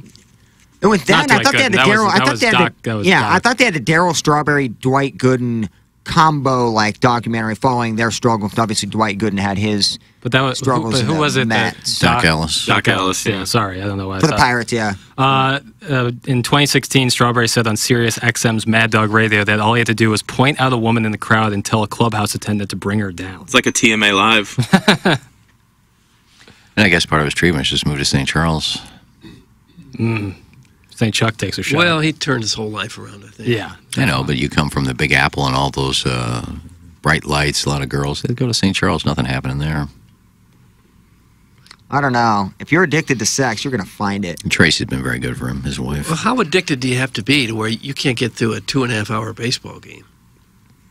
I mean, couldn't you line up two or three for, for when the game's over and just have a whole night of it? One would think. Wilt Chamberlain, I don't know if it documented, he had to have a sex addiction, right? Or Well, he said he has a sex record. I mean, he had like 2,100 partners, like in it. 20,000. He claims. 20,000. He Thank you. I knew there was a two in front of it. I didn't know how many digits It's just after. as ridiculous as 500. I mean that that's a that's a problem, right? Like uh, once you get to a certain number, you're doing it three or four times with a different girl a It- day. I to the bet. point where you can't believe that it's you, you can't believe twenty thousand. You just don't have the stamina. Or wouldn't you, at some point, wouldn't you kind of lose interest too after two or three a day? When twenty thousand, I feel like you'd run into some bad luck. At least a couple hundred would get pregnant. You know, like are there really that there, many? There's no uh, seamless way to get bang twenty thousand out and no, just and are really fine. that many women that you'd be attracted to? When you go into, into a big crowd, it's pretty rare when you see someone that you really would be attracted to, isn't it? It's similar It's to not a- like every other woman you pass by, you say, "Gosh, I sure love to be with her." It's not that way. It's like one out of a hundred. It's like having a, a floor and a ceiling, similar to like Yeah. a like a salary cap. You got your floor, the, the lowest you're gonna go, and Mm-hmm. and you have to. It's almost like a scale of like desperation to what's in front of you. Yeah.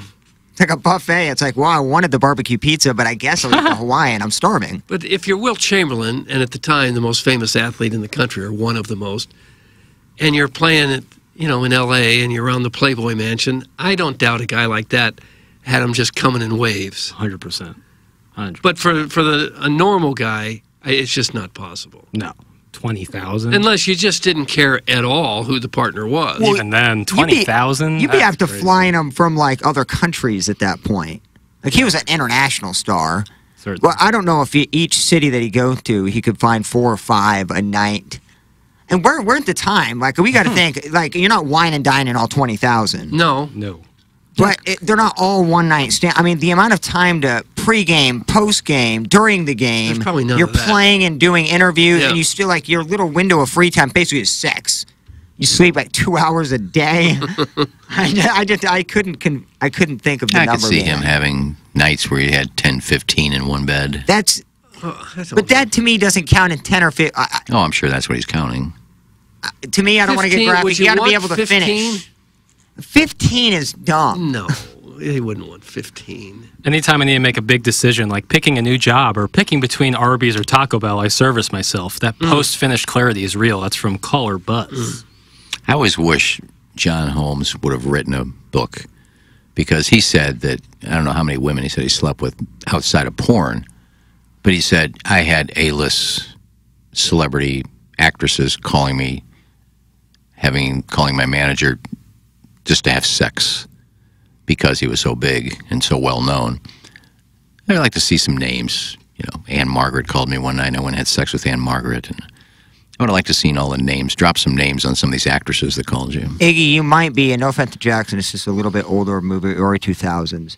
You might have seen this movie. It's the John Holmes, it's called Wonderland. Yeah, It was about, the, the murders up about in- the murders. Yeah. And John Holmes is a huge figure in this, has a drug addiction, and obviously it ends in tragedy. It's an amazing movie. And I watched it in college, I think, for the first time, and I watched it three or four times after that. Really good. Called Wonderland, Doug. Wonderland, Doug. It's tremendous. Well, Boogie Nights is kind of about like a based around like a John Holmes kind of figure. Did you know Van Wilder was written about Bert Kreischer? Oh, how you like that? Yeah. Really? I saw him get an interview, and uh, he actually, in the 90s, won the partier of the decade. He went to Oh, college nice for, title. I think he went to college for six and a half or seven years. Yeah. And, like, Oliver Wilde, I think, bought the rights to a movie, and it got passed around a bunch. And then he's never actually, Bert Kreischer's never actually seen the movie. I've but never he heard of talked Bert about Kreischer. Bert Kreischer. Uh, yeah, I bet. be- I bet if I showed you a picture, you would. Who is it? recognize The him. He's huge now. He but- does a lot of topless work. He's often, Oh. he's a comedian who's often topless. I get. I almost guarantee A you've topless comedian. That's Bert Kreischer. I've never laid eyes on the Oh, gentleman. he does a lot of work with Tom Segura. Yeah, they got one of the biggest podcasts going. Yeah, was that Two Bears, One Cave? Mm-hmm. Yeah, yeah, he's funny. He did a movie last year. Him and Greg Warren went on a. Yeah, that's the cruise that Brett. That's the uh, cruise Greg that Greg Warren went on with a Was- bunch of comedian. Bert Yeah, Kreischer was kind that of Bert overseeing the whole thing, Yeah. and he and the original Van Wilder. Mm. I thought that was a good little tidbit I learned the other day. This is what we bring to the show, Doug. A lot of information. A lot of it. Uh, get involved. Jeff Lotman text inbox 314 TMA5. That's the Jeff Lotman text inbox. Iggy decides to poo poo on St. Charles to win over the audience. Live in an apartment in Maryland Heights. Get off your high horse. It's from the ghost of the Fistra Mm. Hotel. I didn't poo poo St. Charles. I just said it's probably one of the reasons he found that city to live in. Because away from the big city, St. Louis would have been another big city. Live in St. Charles, it's quaint. I didn't say it's, Wasn't he married to someone who lives in there? I think Tracy. But uh, yeah, I think it's, it was actually a compliment that you go live in a nice, quiet city, not a lot going on as far as nightlife. And, um, oh, Main Street's pretty cool. But, I mean, it's not the big city. You can go live in kind of like uh, Dardenne Prairie, where it's kind of open ground out there, or O'Fallon, places like that. It's, so I wasn't poo pooing on the city. Bert is so unfunny, and Tom has lost his fastball. It's from Mr. Licks. Boy, people have a lot of takes. Comedians, I feel like, are kind of like music, where like You can't win. If Yeah, they get too good, then they're terrible. Right. Like Right. it's It's not trendy anymore. Yeah. Yeah. It's cool to not like them. Like you can't say Kevin Hart is your favorite comedian because he's by far like probably the biggest. like Shane Gillis right now and the it guy. Right. But six months ago was Matt Rife. Like these guys are eventually going to say one thing, Mm-hmm. get absolutely dragged, and then they're done.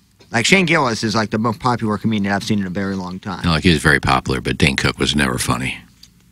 I don't know, man. I think everybody realized that eventually. His stand-ups sold out Madison Square Garden. I think. I know. It wasn't that funny. I like Matt Friend, the guy who does the political impersonations. Have you ever oh seen yeah, what's in he's him? great. Yeah, Uh, his the, I, I like that. The, um, the impersonations he does. the- Yeah, they're really just- Oh yeah, yeah, yeah. I've seen that guy. Okay. He's I didn't- outstanding. When he does Jeff Goldblum, it's like shocking. It's Yeah. like you're like that's actually Jeff Uh, Goldblum. and his Trump is fantastic. yeah, yeah, he The- does. He's really good. The guy who used to work, God, I, I'm going to explain it like I'm an, the guy who used to work for Barstool. He does a bunch of impressions. It's not Francis. I'm gonna I'm gonna figure out his name, but he does so many. Joey great, Mo- Thank you. Oh, Joey Thank you. Yeah. yeah, he's He is so funny He does and such a good. good Saban. I was gonna say his Saban is his phenomenal. Saban is on. He'll do like some fake post game interviews with Saban about Yeah, Saban. un, yeah. yeah, he's unbelievable. Uh, at there- I saw a so- clip the other day. They had uh, Frank Caliendo on a podcast, and um, they had him singing "We Didn't Start the Fire" or some or some Billy Joel song, something. But they were just throwing names at him, and like mid sentence, he's switching impersonations. It was pretty good. He's always been a good impersonator. Yeah, he's been great, but he he was bigger five or ten years ago than he is now. It might have been an old clip. I'm Did- not sure. Did he just get so much money he stopped working all the time, or what was it? I. What's the deal with it? We used to get him on the show all the time. Oh, he was fantastic. Well, I used to get him on the show all the time. yeah, you did. no one Um, else could. And he was, I think he was part of the one of the NFL pregame shows. Fox NFL Sunday. Fox. Yeah. Yeah, he was good. Now there's so many. Jay Pharoah does some great interviews. He's They're a- great. I like when, uh, Yeah, he's outstanding. God, he sat down with uh, Paul Harvey. Not Paul Harvey. Paul Steve Harvey. Good day. That's Paul Harvey. Good day. Um, Now you Steve know Harvey. the rest of the story. And Steve Harvey would just say, "All right, I'd ask you a question, Eddie Murphy. What about this?" And he'd do Eddie Murphy, and God, his his impressions are just spot on. I miss Paul Harvey. Who's Paul Harvey? I was an old radio guy that told stories on the air. He had a Paul Harvey news wrap up. Is that different than uh, who did the news for KMOX? Oh, Bob Hamilton. Oh, yes. Paul Harvey was huge nationally. You go to YouTube and hear some of his Yeah, we stuff. had He's him, great, uh, great writer. Old, really old school, but he was very extremely popular for a long time. For some reason, on Jock 98.7, leading into our sports reporter show, I had to come in and run the board in the morning. We had Paul Harvey, and then we had Imus. Don Imus? Mm-hmm. And I'm like, oh my god, this is. And then when they when Imus would take a break, we had no commercials for this show, so we played kind of like we do on this show. When we get done, we play our best ofs. That's what they would have. They would have all these things loaded, and and I'll take a break back in a couple of minutes here. Imus in the morning. And then we'd have to play like a eight minute Imus cut from another show before we went back to the commercial break. And that's when I really got in trouble because I just started doing my own programming. I just opened the mic and said, you know what, I'm really bored of all these Imus things, so I'm going to play music for the eight minutes. I would just start playing music for eight minutes. And it took it took the owner of the Ken Meyer like three weeks before he even realized because somebody called, how come we're not getting the Imus cuts anymore? That guy's playing music. I said, you're playing music? I said, yeah, nobody wants to hear these old clips. It's part of the contract. Okay. Did you get fired again? No. All right. But I decided to start playing my own You were a maverick. I, There's I no always, doubt about I always that. want to be a DJ, so I said, You're I'm a just, I'm just going to play music. And no one's going to put a saddle on you. There we got a song uh, you may know from the uh, Phoenix album. Here's Wishbone Ash. But that wasn't the format That was my format. until they found out it wasn't the format. Until they found out, yeah. Took them a while. A Bronco that simply can't be tamed. Cannot be tamed.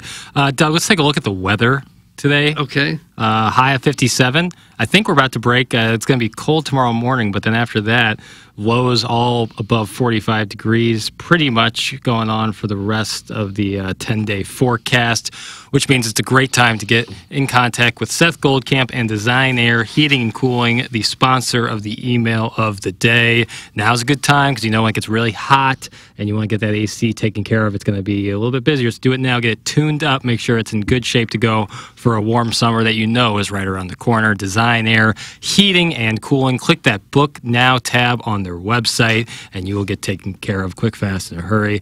Uh, Doug, you've worked with them many a time. Tim works with them. Iggy, they've been out to your apartment. Seth Goldcamp's hooked me up, helped out with my parents.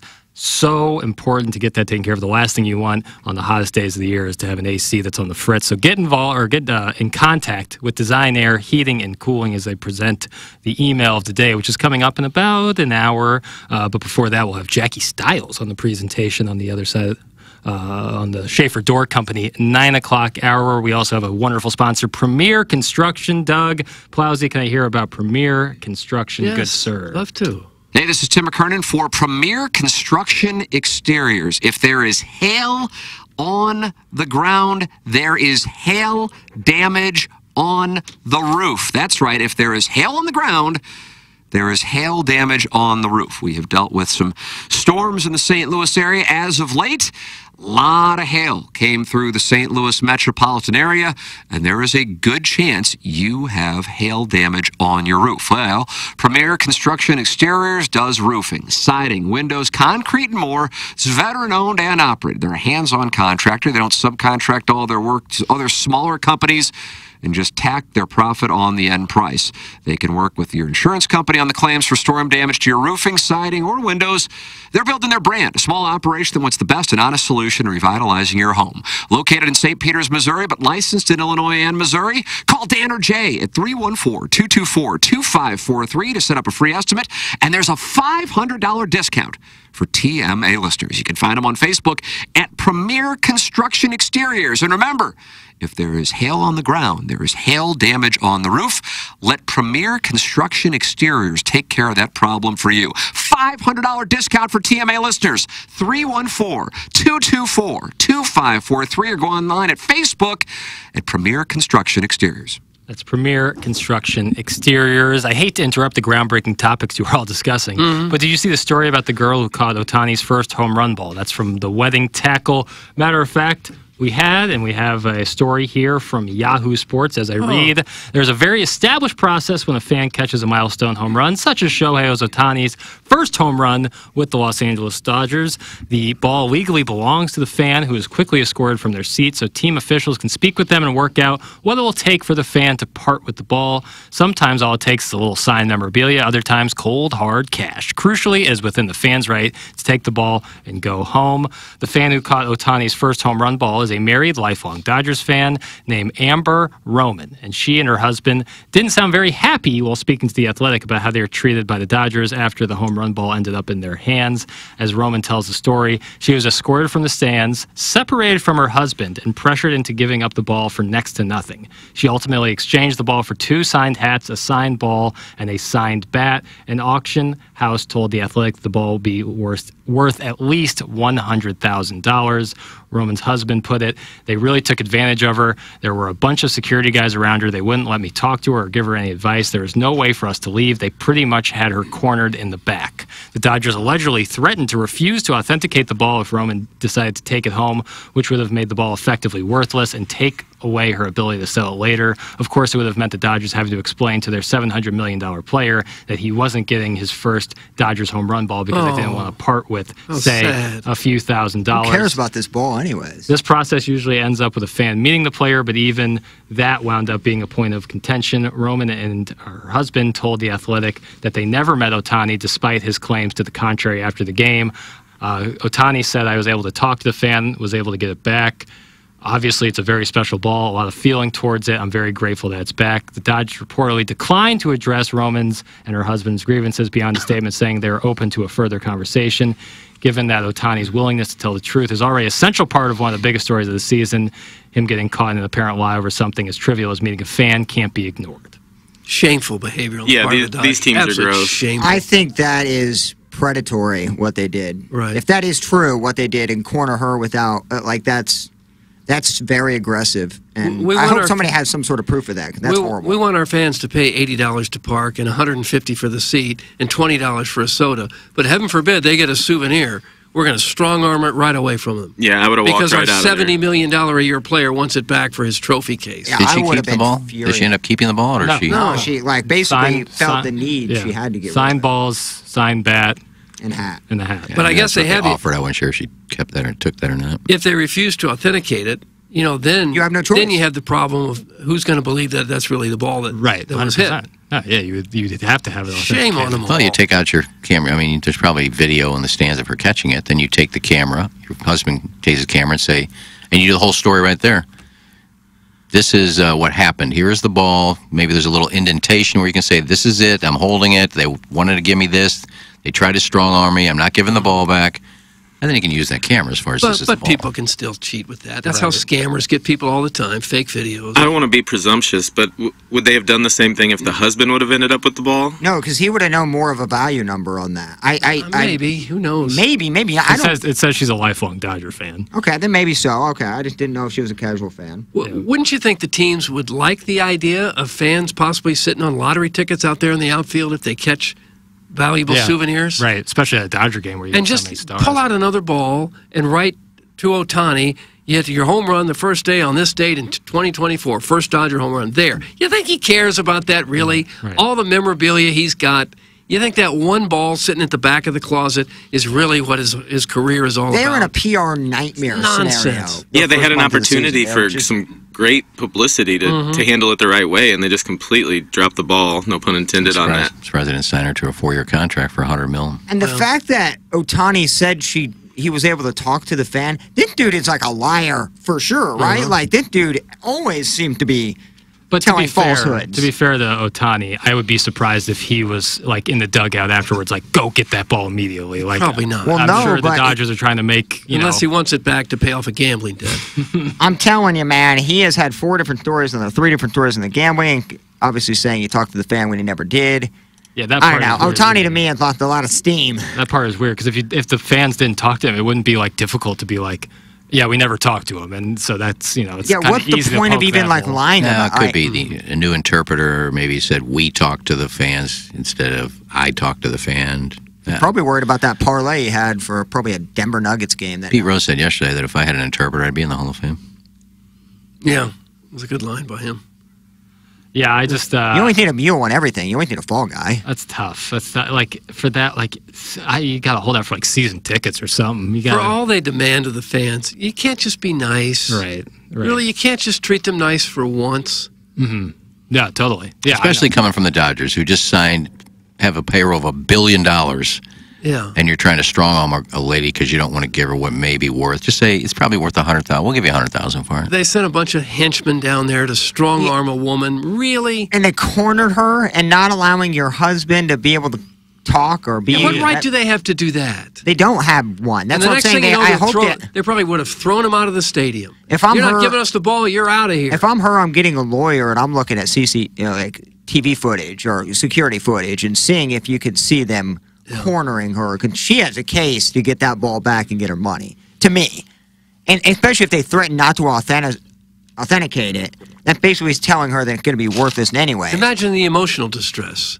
Oh, She's if going to need a million dollars just for what they did to If her. I'm Even if she doesn't get the ball back, she needs a million dollars for the Brown and emotional- Crouppen, give her a call. The Dodgers could not afford like having to deal with PR for another like a lawsuit with this with the other thing. I bet you if she got a lawyer, a good one, and strong armed them, I bet you she gets a good amount of cash. But, At uh, least a hundred thousand that the ball is worth. That is well worth the avoiding any litigation, anybody showing footage of your security team, you having to go have a media tour about this. All of that is But so. what's the but what's the what's the like the legality? Like what's the case? She gave him the ball, you know. I, I I don't know if you if Did it she under getting pressure. She was Yeah. pressured. Yeah, Yeah, to me, just- like there's don't know if that's emotional breaking the damages for sure. We've seen people get emotional damage for million for much less than She media- could, she could claim that she was feared for her safety, that they were They threatened to her. not. They threatened to make the ball worthless. That to me is super illegal mm. and just shady as I- hell. It's shady. I don't know if it's illegal, but No, I think threatened threaten, threaten to sue him, and the Dodgers are probably fold. Say, like, That's what I'm saying. her, I Just w- give her, give her what she wants. I'll would get a lawyer and threaten to sue and see what they say. the media tour is the move where you talk about this, and then the Dodgers, oh, to avoid further PR, say, "All right, here's season tickets." Well, you, you'd hope, but I don't know that they care about the PR. Does it matter? People keep showing up. Yeah, when you got a People don't lineup that looks like that, Something bad happened to a to a fan in left field. I don't care. I got tickets to the game. Let's go. Well, Ohtani probably cares because it's probably going to look bad on his part. Oh, if I'm Ohtani, I'm going. Okay, what do you guys need? A hundred grand to make this thing go away? Tell her her to shut up, sign an NDA. I'm all for it. I'm worth seventy million a year. Probably not. He must want more if he's doing all the gambling. I guess he does. Yeah, I'm gonna say. I guess he does have that secret DraftKings Allegedly account does. worth billions. Mm-hmm. allegedly, uh, she was 100% coerced. That's from the wedding tackle. Isn't that illegal? Like, uh, like being cornered like that and being pressured and somewhat threatened. To me, has some legal ramifications attached to it. You would think. I don't know if it's necessarily like extortion. If I'm, But it's i- along that if you can get alo- away with that, then every ball, every memorabilia that's hit up that's worth anything. If I'm a MLB team, I just have private security go basically hound them until they give it up. You know, don't do anything physical, but apparently inside the stadium, you can do whatever the hell you uh, want to yeah. people. How important are these balls really to these players? They're definitely important for Really? the people that catch them. Stories behind it. I all know, but to the players who have so much, Yeah. they have so many different honors that they've won, and here's my MVP award, and here's my Silver Slugger, and here's my All Star jerseys. Is that one little baseball? I hit a home run here. Wasn't my first home run. Wasn't my last. Wasn't a milestone home run. Just my first in this stadium with a new team. That's really worth it to, to go through all this. I honestly don't see how that ball is worth hundred thousand dollars. I, I don't, don't know either. what private seller is going to be Someone in buying Japan, Ohtani for. some- Didn't uh, McGwire's 62nd, the ground crew guy, got it? Didn't he just give it back to McGwire? He, did. And they gave him a, a Chrysler van. Which is cool. Uh-huh. And I think there was another, it might even have been McGwire's last home run. Number 70. 70, where he told the guy, look, just sell it. If it's worth money, go make money. It's no big deal to me. He did, and he got 3 million for it. Three million. Caller Ellen said, uh, texted in the quote, Mr. McGwire, I have something that belongs to you. Mm-hmm. Caller Ellen. Yeah. Yeah, he bowls in uh, Gobble Bowl every year with uh, Brian Boweringer's team. I Big forgot Mac? his name. No, the grounds crew. I Yeah, he, I think he went on to become a lawyer. Yeah, I forgot his name. Steve something? But that was a little different because he was working for the team at the time. He was a grounds crew member. It'd be kind of hard to work for the team and say, "I'm not giving this back." Yeah, right, right. When your when It's your a little checks different. come from now the he could have taken the ball and quit and come out financially better off. Yes, indeed. But now we look back on it and we think, "What a great guy!" Yeah, right. Yeah, that's that's. you think Mark McGwire would have taken him ball retired? Then again, they could have said, you know, you're an employee. This is our property because it didn't really didn't leave the stadium. It went and then went to the wagon gate over that wall where there's like farm equipment back there. Yeah, he could have. Tractors. They could have Mhm. said, look, you work for us. That's our property. But the guy who caught number 70, even if they throw you out of the stadium, whatever they do, you still say, okay. Okay. Because I Yeah. yeah. $3 million for that. We didn't know at the time what it was going to be worth, but that's what he got at auction. And all those balls were marked because every ball that went over was another record. Right. so every one of those balls were marked. So you, they couldn't say, Mhm. well, we're not going to authenticate it. Well, it's already authenticated by MLB. Mm-hmm. This whole situation sounds like recovering alcoholic showing up to Gabe Cod with his henchmen and bullied Mm. me into letting him enter me after we shucked clams. That's from Sweet Sweet Cod. Mm. Boy, a lot going on up there. Boy, so he's admitting it happened. Oh, Gabe Cod. You know what happens in Gabe Cod stays in Gabe Cod. What if they did change the name Cape Cod to Cape, Cape Cod. Cod. I don't think For people like would like it. I like a Cape For as long as. Sweet Sweet lives there, it's going to be uh, Cape Cod to me. Are you going we to go take a visit break him? since I told Jackie probably about nine o'clock? Yeah, we'll take a break so here. we're kind of like right around that time. Yeah, we'll take a break here in just a moment. Yeah, I do. I, I do want to go up and visit. I love. Yeah, that's a cool area in the summer. Mm-hmm. It'd be really fun. Go clamming or scalloping, maybe. Scal- yeah, all sorts of uh, marine life will be around, and uh, it's a cool area, and they have a great little spot. So shout out to Sweet Sweet Kai, Gape Cod. All right, uh, we'll take a break as Jackie Stiles is coming up on the other side of the break. The Schaefer Door Company, nine o'clock hour. We'll talk to her. It's going to be a lot of fun. Iggy uh, is uh, credited there for booking Jackie Stiles on the presentation. This is TMA, and it's presented to you by Brown and Crouppen. When we think of a real estate agent, we think of somebody simply selling our home or finding us a new one. I mean, they're all the same, right? Okay, here's the comps. We'll take some pics. We'll post them, and uh, yeah, I'll uh, I'll get back to you. Okay? A home is life changing, and your real estate agent should reflect that. Honesty, integrity, and someone who will go above and beyond to make your dreams come true. The Jeff Lotman Group with Compass Realty. We're different because you're different. We want what you want. Experience the difference today at jefflotman.com, bringing people and properties together. The choice of a lawyer is important and shouldn't be based on an ad. After a serious car accident, people have two questions why me and what now? Well, no one knows why you, but I'm Terry Crouppen, and my law firm Brown and Crouppen sure can help with the what now. Car repairs, medical bills, lost wages, pain and suffering. We're Brown and Crouppen, and we've got all those answers. All you have to do is call 222 2222. John, I'm so tired of this kitchen. We haven't updated anything since we moved in. The stove looks like it's from the 90s, and the rest is. Are you even listening to me? Did you say something, honey? Yeah, yeah, no, kitchen's fine. We have cabinets. There's food in the cabinets. We're good. Oh my god. Guys, if this sounds a little familiar, trust me, your wife is probably right. It's time for a remodel. Callier and Thompson is the company to trust, not just for kitchens and bathrooms, but for any interior remodeling job. Need a new man cave? Callier and Thompson. Office? Callier and Thompson. Bar? You got it. Callier and Thompson. They even do wine rooms and fireplace walls. Callier and Thompson is your go-to source for every design consideration. They carry the best cabinets, appliances, and countertops in the business. And better yet, it's all under one roof. No need to drive around to five to ten different businesses for one job. At Callier and Thompson, they do it all. Their showroom is on Manchester Road in Ballwin, right next to Uncle Bill's Pancake House. Let Callier and Thompson bring your dream remodel to reality and come home to quality. Online at callierandthompson.com. I get asked all the time by people if I'm in an accident, what should I do? And while yes, you should call the police, exchange insurance information, and take pictures of the scene, all those things are important. But the most important thing you need to do is hire a personal injury lawyer. This is Doug Biggs from Longo Biggs Injury Law. And if you've been hurt by someone else's negligence, don't take on the insurance company yourself. Insurance companies have teams of people and a playbook designed to keep you running in circles so they can pay you as little money as possible for your accident claim. If you don't have a lawyer, they know you can't bring your claim to court and they will never give you full value. We recently took an offer from an insurance company without a lawyer on the case from $12,000 to $200,000. You can't get that kind of result without an attorney on your case. Even if you don't hire us, you need to hire a personal injury attorney. Check us out online at longobigs.com.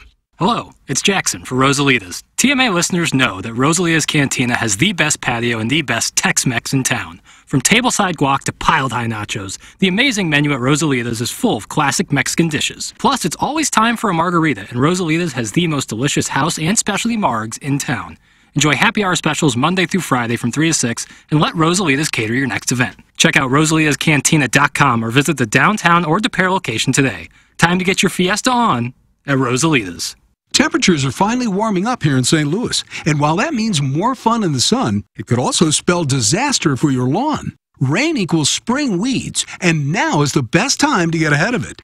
Green Envy has been here in St. Louis for more than a decade, servicing and treating lawns just like they would their very own.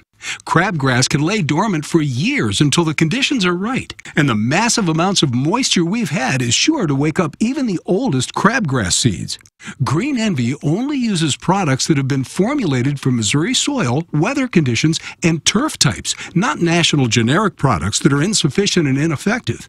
Let the experts at Green Envy help you choose the best treatment program for your lawn this season. Phone lines are open 12 hours a day, Monday through Friday, and Saturday 9 to 1 to take your calls and answer questions. Call Green Envy today at 636 757 1600 or visit greenenvylawns.com and make your lawn the envy of the neighborhood. Ciao Chow on the Hill is your one stop shop for all your pet supplies. As soon as you walk through their doors, you and your pet are considered family and treated with superior service and personalized attention. Jessica is the owner and is a certified pet nutritionist and is passionate about educating her clients on the product that will keep your pets happy and healthy. My favorite part about Ciao Chow is its connection with All Paws Safe Haven, an organization that helps shelter animals find forever homes. To learn more about Ciao Chow, visit CIAO-CHOW-STL.com or stop by and tell them Plowsy sent you. The Illinois Recovery Center is dedicated to providing precise and authentic care to those seeking help and treatment.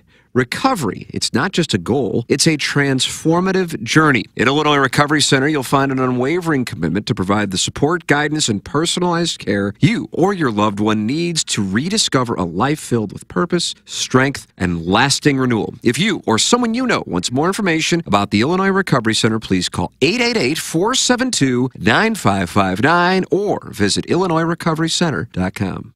Hey, this is Tim McKernan, and I am here with Seth Goldcamp of Design Air Heating and Cooling, and I have been a long-time Design Air client. What separates you guys from everybody else? It's becoming more common for companies to just get their foot in the door. They try to come up with different ways to upsell. They try to see how much they can make off of a customer as opposed to, hey, we're in there to do a service. We're going to do it well. We're going to do it for a fair price. I don't know how many emails I have received from our listeners who experience the incredible customer service Design Air Heating and Cooling provides. It's Design Air Heating and Cooling online at designairservice.com.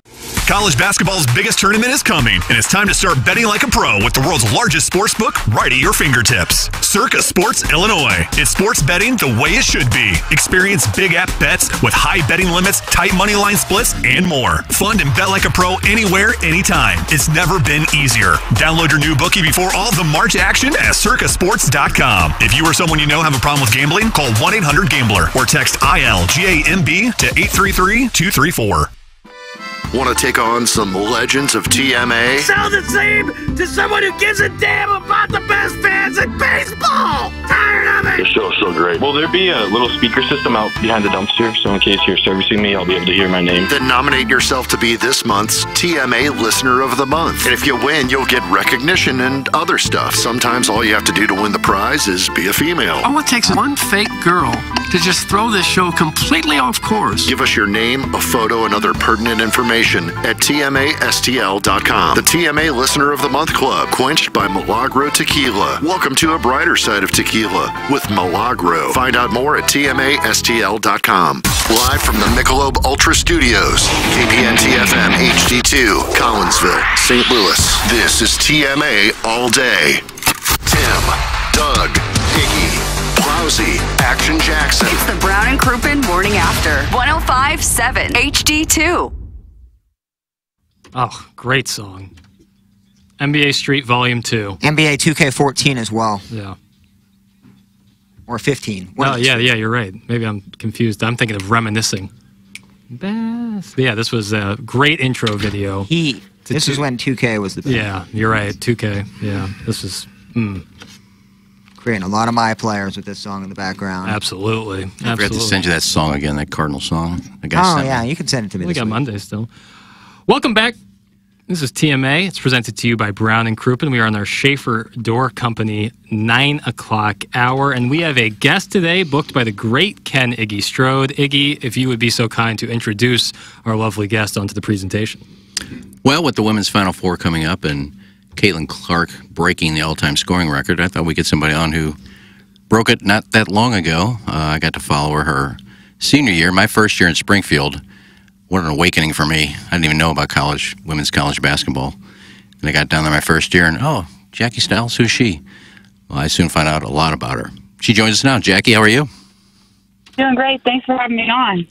You're welcome. What have you been up to? That's one of the reasons we want to get you on. Um, I know you're doing some clinics, some coaching. What's up with you? Well, so I uh, got out of college coaching a couple years ago and I just jumped off a cliff and decided to open my own business. It's, it's a private personal training studio called Next Gen Fitness in Springfield, Missouri. I've just always been really passionate about fitness, but it took me so long kind of during COVID to get it open that you know, I was like, oh, I need some income. So I started running basketball camps and they just took off. And so my first summer I ran 22 clinics. And then uh, this past summer I did 35. And now I'm scheduled to do 40 clinics along with, you know, um, running my gym. So it's keeping me pretty busy for sure. Are you amazed that I know the career you had and you were so loved in Springfield by, you know, the older generation who would come to Lady Bears games, the kids? But it's been a while. You are you are you still fascinated that you're still so popular in Springfield? I'm shocked, honestly. Um, you know, it's just it's wild to me that you know people still recognize me or just uh, how they act. For you know, for instance, uh, I gave one of my uh, clients, I do basketball lessons a couple evenings, and I, I said, hey, just contact me on my cell phone um, if you need to get a hold of me. And she's like, well, I, I just don't feel right contacting somebody so famous on their cell phone. I'm like, what? You know, so I just, it's just crazy. It just almost feels like a separate life because I feel like, you know, I'm, I'm getting ancient. That was over uh, 20 years ago um, when I played college basketball here, but that's what made it so special is the support from you know this tremendous community, and that's why I'm so happy doing what I'm doing now because you know I've just aligned my gifts in a way to give back to the community through my love of fitness and also basketball. I get that all the time when I give out my cell phone too. It's, eh. Because you're so famous. You can't, you simply cannot give out your number. No, it's one thing for Jackie to do it. You cannot. Well, Jackie will tell you how big I got in Springfield. Um, oh, for heaven's sake! Was he this insufferable in Springfield? no, he was great. oh God! Don't feed the ego. I have to tell you. Uh, I have to tell you. And even though it was that one year before you, you, um, your senior year, and that was the year I was down there, I got to cover you. Um, I thought I knew a lot about you. I watched, and I got to tell you, it was tremendous. I watched the Jackie Stiles show uh, story, so well done. And there's so many things in that that people will learn about you. First of all, how nerve wracking was it to do that, and how do you feel it came out? Wow, yeah, I'd never in my wildest dreams thought I'd have a movie about my life, but just a guy uh, contacted me out of California. His name was Brent Huff, and I, I didn't know anything about him, and he just said, hey, I want to do a movie about your life. And I'm like, uh, well, one, who are you? But two, about me. And so then uh, when I did my first sit down interview with him, I could tell he was just, he knew more about my life than I did. And I could tell I just trusted that my story was in good hands. But I didn't get to see it before you know the public got to see it. So it um, premiered at the Goys in Springfield, and I got to watch it when everybody else did. Because with documentaries, you don't get any say in those. You know, uh, they want it to be authentic to the story, and so.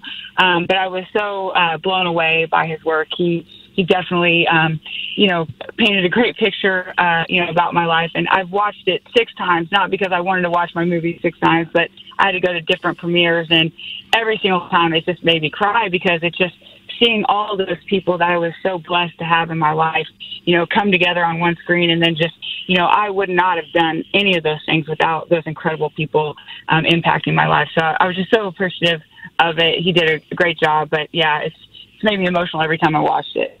Uh, Jackie, right now we're in a, a really awesome era where uh, women's basketball and college basketball in specific is becoming so much more embraced by the mainstream culture, sports culture.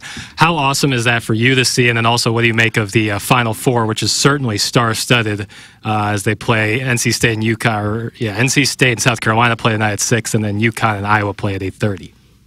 Oh, it's just been tremendous uh, to watch, and you know, Caitlin has been amazing, and what she's done for the uh, women's basketball game is just in- incredible. And just, I mean, basketball in general doesn't mean just women's basketball. I mean, it's just when somebody is so dominant at their craft, I mean, even people that are non-sports fans watch because it's just incredible to see somebody you know, dominate their field, you know, like she is, and it's just she's an inspiration to anybody. So it's it's been so fun to watch and see it, you know, become so popular this season. You were kind of Caitlin Clark before Caitlin Clark. How, how would you compare your game to hers? Uh, well, gosh, uh, man, she has that deep range. I would say I did more on the mid-range game. Uh, she either shoots that deep three or is going to take it all the way to the rim. Um, I kind of lived off the mid-range game, and I know that's kind of the the dying piece of basketball. Not, not a lot of players take advantage of that, but that was really my go-to was that mid-range before the bigs got to me.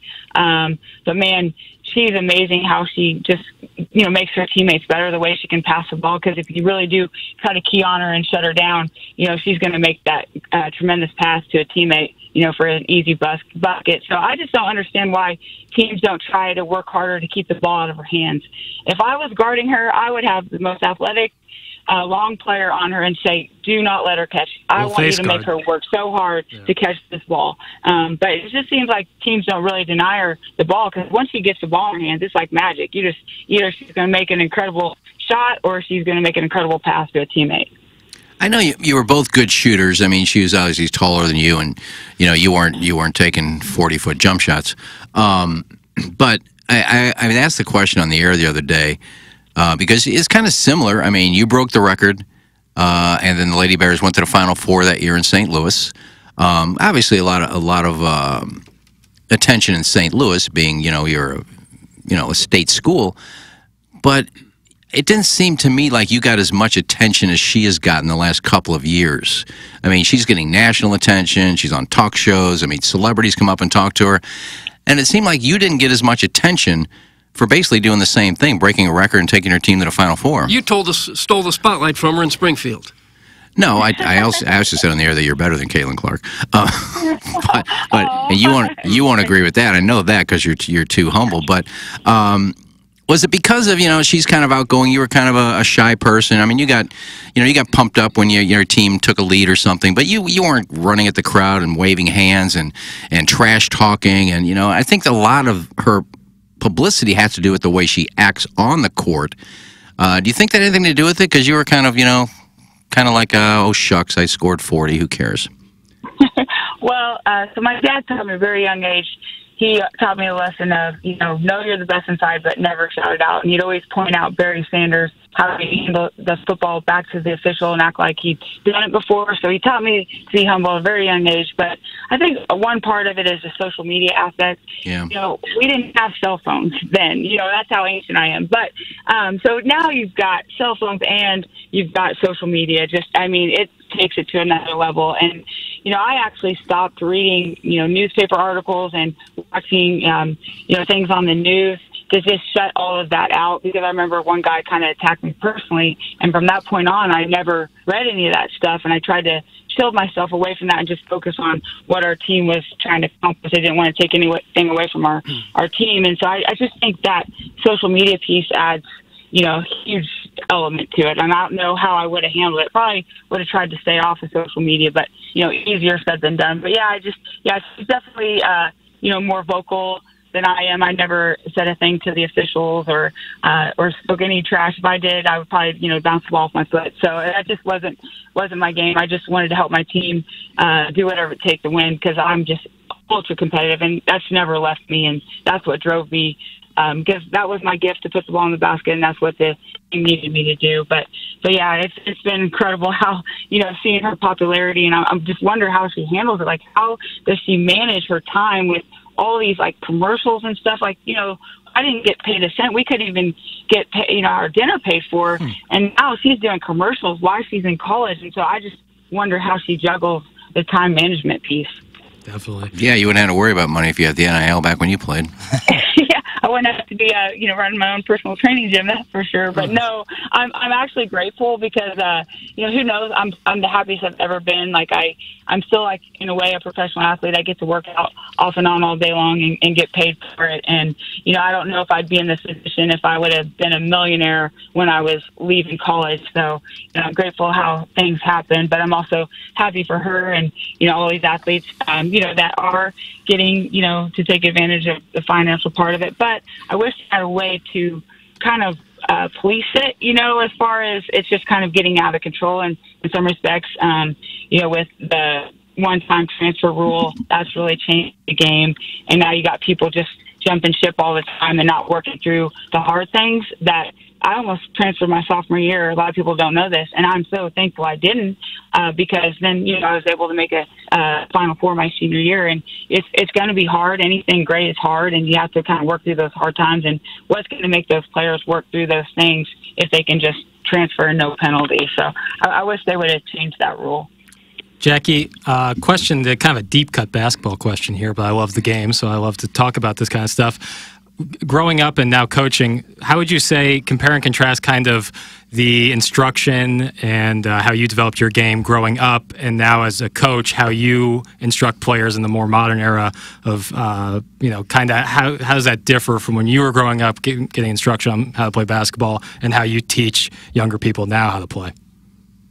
Yeah, so we just played pickup all the time, you know, and now you never see players just go in to play pickup. They just have these, you know, trainers, Right. the basketball trainers. There was no such thing as a basketball trainer, you know, when I was growing up. We just, you know, I had uh, two twin guys and we would play hours of one on one and, you know, I would jump in as much as I could and play pickup with, you know, my dad's team. He coached the varsity boys at, at my high school. But, um, yeah, now everybody has like trainers and they just don't go play or, or just don't go shoot on their own. Um, and I actually encourage people to, because I think one thing I was shocked about when I was coaching in college is how often our players got their shot blocked.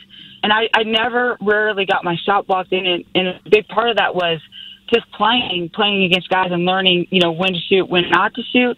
And I think sometimes that piece is missing because, you know, they're doing all these fancy drills and things with trainers, but not training the decision making piece of, okay, you know, if, if it's a short closeout, I shoot. If it's a long closeout, I go around and just training those kind of things. So um, I still uh, train players similar to the way that I do it, except I, I lessen the pounding. I, I wouldn't have done near as much running and things like that. Mhm. Um, that you know that's why I had so many injuries. Uh, you know, eventually. But um, as far as the basketball piece, I would do things very similar to how I got to where I was, and that's how I teach my players. You know, the things that I learned, except minus the the running, because you don't need so much running. You know, as, as I did for sure. So. Real game situations, real putting players in real game situations as opposed to just one-on-one work.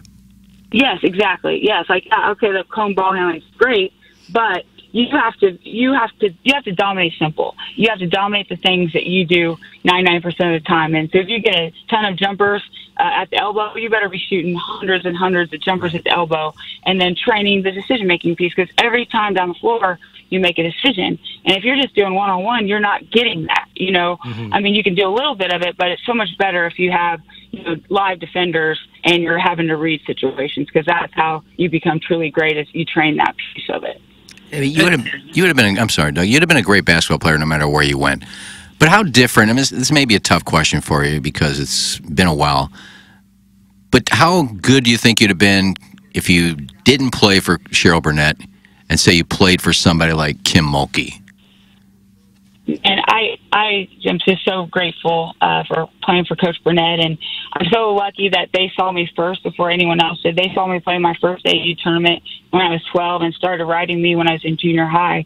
So they got on to me first, and I started going to camps there every summer. And man, I knew that she would push me to be the best I could be on and off the floor, and I knew it was going to be hard, and I, I wanted that. And um, you know, I would not have accomplished half the things I did without playing for Coach Burnett. So, um, you know, I, I know Coach Mulkey's a great coach, um, but she does it by you know getting those really talented players that you know a lot of coaches maybe can't coach or can't keep in line and is able to get you know get them to work as a team. But I'm, I'm just grateful. I don't know what it'd be like to play for Coach Mulkey, but I'm so glad I made the choice I did because you know she pushed me. Uh, you know, and, and would put different rules on me in practice, and I didn't understand it when I was younger, and I'd kind of be stubborn and try to, you know, do whatever it took to win, and not really get what she was trying to teach me. But then by the time I was a junior and senior, when I matured, I, I realized she was just trying to make me a complete player, which thank goodness she did, because in the WNBA, you have to be a complete player to to survive at that level. As you work with young girl players now, have you noticed the popularity of Caitlin Clark and some of the other big college stars now having an impact on how hard people want to work and get better and improve? Is it is it making a difference at all? Oh, absolutely. Yeah, it's it's so key. Like these the lessons I'm doing, uh, you know, I'll see uh, or the camps I'm doing, I'll see kids, you know, with you know her shirts and her jerseys on, and you just see that they're they're watching her and they want to be her, and so they're getting in the gym and they're working at a really young age, and you're just going to see the talent continue to get better and better. And um, it's been fun for me. Um, I don't know if you guys have followed Iowa State women's basketball, but um, from Claflin was Emily Ryan, and she played for my dad. And she'll graduate as the all-time assist leader in Division One history. Um, and she used to come to my clinics, and so you know, then you know, to watch her have the success she's having at Iowa State, she she lost to Stanford in overtime, but had uh, almost 40 points in the game, and um, so it's been fun for me to see her success. And yeah, it's just you're going to tell that the game's going to get better and better because of the effect she's having on these young girls. They want to be her. You're still playing at all? You know, Y League somewhere or Church League, or you, you still get out there and play a little bit? No, not at all. I cannot stand not what, being what I used to be, you know, and so I'm just too competitive for that. And it hurts me too much. I've had 19 surgeries now, around that many in, anyway, and so I pay the price anytime I try to do something like that. So uh, my one uh, sport right now is pickleball. That's not the only thing I can do. Um, my body will allow me to do, but even that, I'm like the other day I, I threw uh, you know my racket over the fence. I'm like, can I just ever just play for fun and not you know be so competitive with myself? But I don't know, just something ignites in me. I, I can't really dial it down too much. So I don't I don't play much basketball anymore just because uh, it's hard for me to not be what I used to be. You still keep in touch with uh, Tara and Melody and Carly and those girls who were on that Final Four team? Yeah, actually, um, we had our 20 year reunion a few years ago, and we all took a trip to Asheville, North Carolina. So all of us girls, you know, together in this house, and we hadn't, you know, really seen each other, all been together since, you know, probably that Final Four game. And man, it was like we hadn't missed a beat. Like we had been together every day for 20 years since. We had so much fun. So it was so great, uh, you know, to get to be with those girls again. Because when you are part of team sports, and that's one of the most special things about it, is you have those lifelong friendships. When you go through hard things together, you know, that forever bonds you. And it was just so fun kind of to relive our glory days and, and get caught up with the, everybody. So, yeah, that's one thing I always tell players, like, yeah, um, you know, just make the most of every day when you're playing in these team sports because it's such a short window of your life and you'll have so many special memories from it. And I just don't want players to have any regret and just know how special these times are for them. Yeah, it was a fun team to watch. I said, and to show you how how seriously they take this game down there. I've told the story on the air, but I don't think I've ever told you, unless you might have noticed, listening to a post game show. But when I was hired by Ken Meyer to go to work at the Jock and do the show with Scott and Ned, and uh, he informs me that I'm doing Lady Bears post game shows. I'm like, I, I have never even seen a basketball, a women's basketball game. I didn't know how popular you guys were, but so I go to the first game, and uh, I don't know. I think it was, I think they were like um, down by seven or something. He brought in like three freshmen, or she brought in three freshmen or something, and then you lost the game. And I said, I, I did the post game show, and I said, I kind of questioned Coach Burnett. I mean, you're down seven, you need points, and you bring in three freshmen. I got called in the office the next day. She said, You can never question Cheryl Burnett. You're off the show. Oh. I said, Oh my God. I, I said, and and I told Cheryl that, and she said, "Ah, you can say whatever you want about me. I don't care." But uh, yeah, it, it was amazing. You go to these games, and it's sold out every game, and they're lined around the block. And then I realized it's it's because you you're ready to break a record. But somebody said, no, it's like that every game, every year.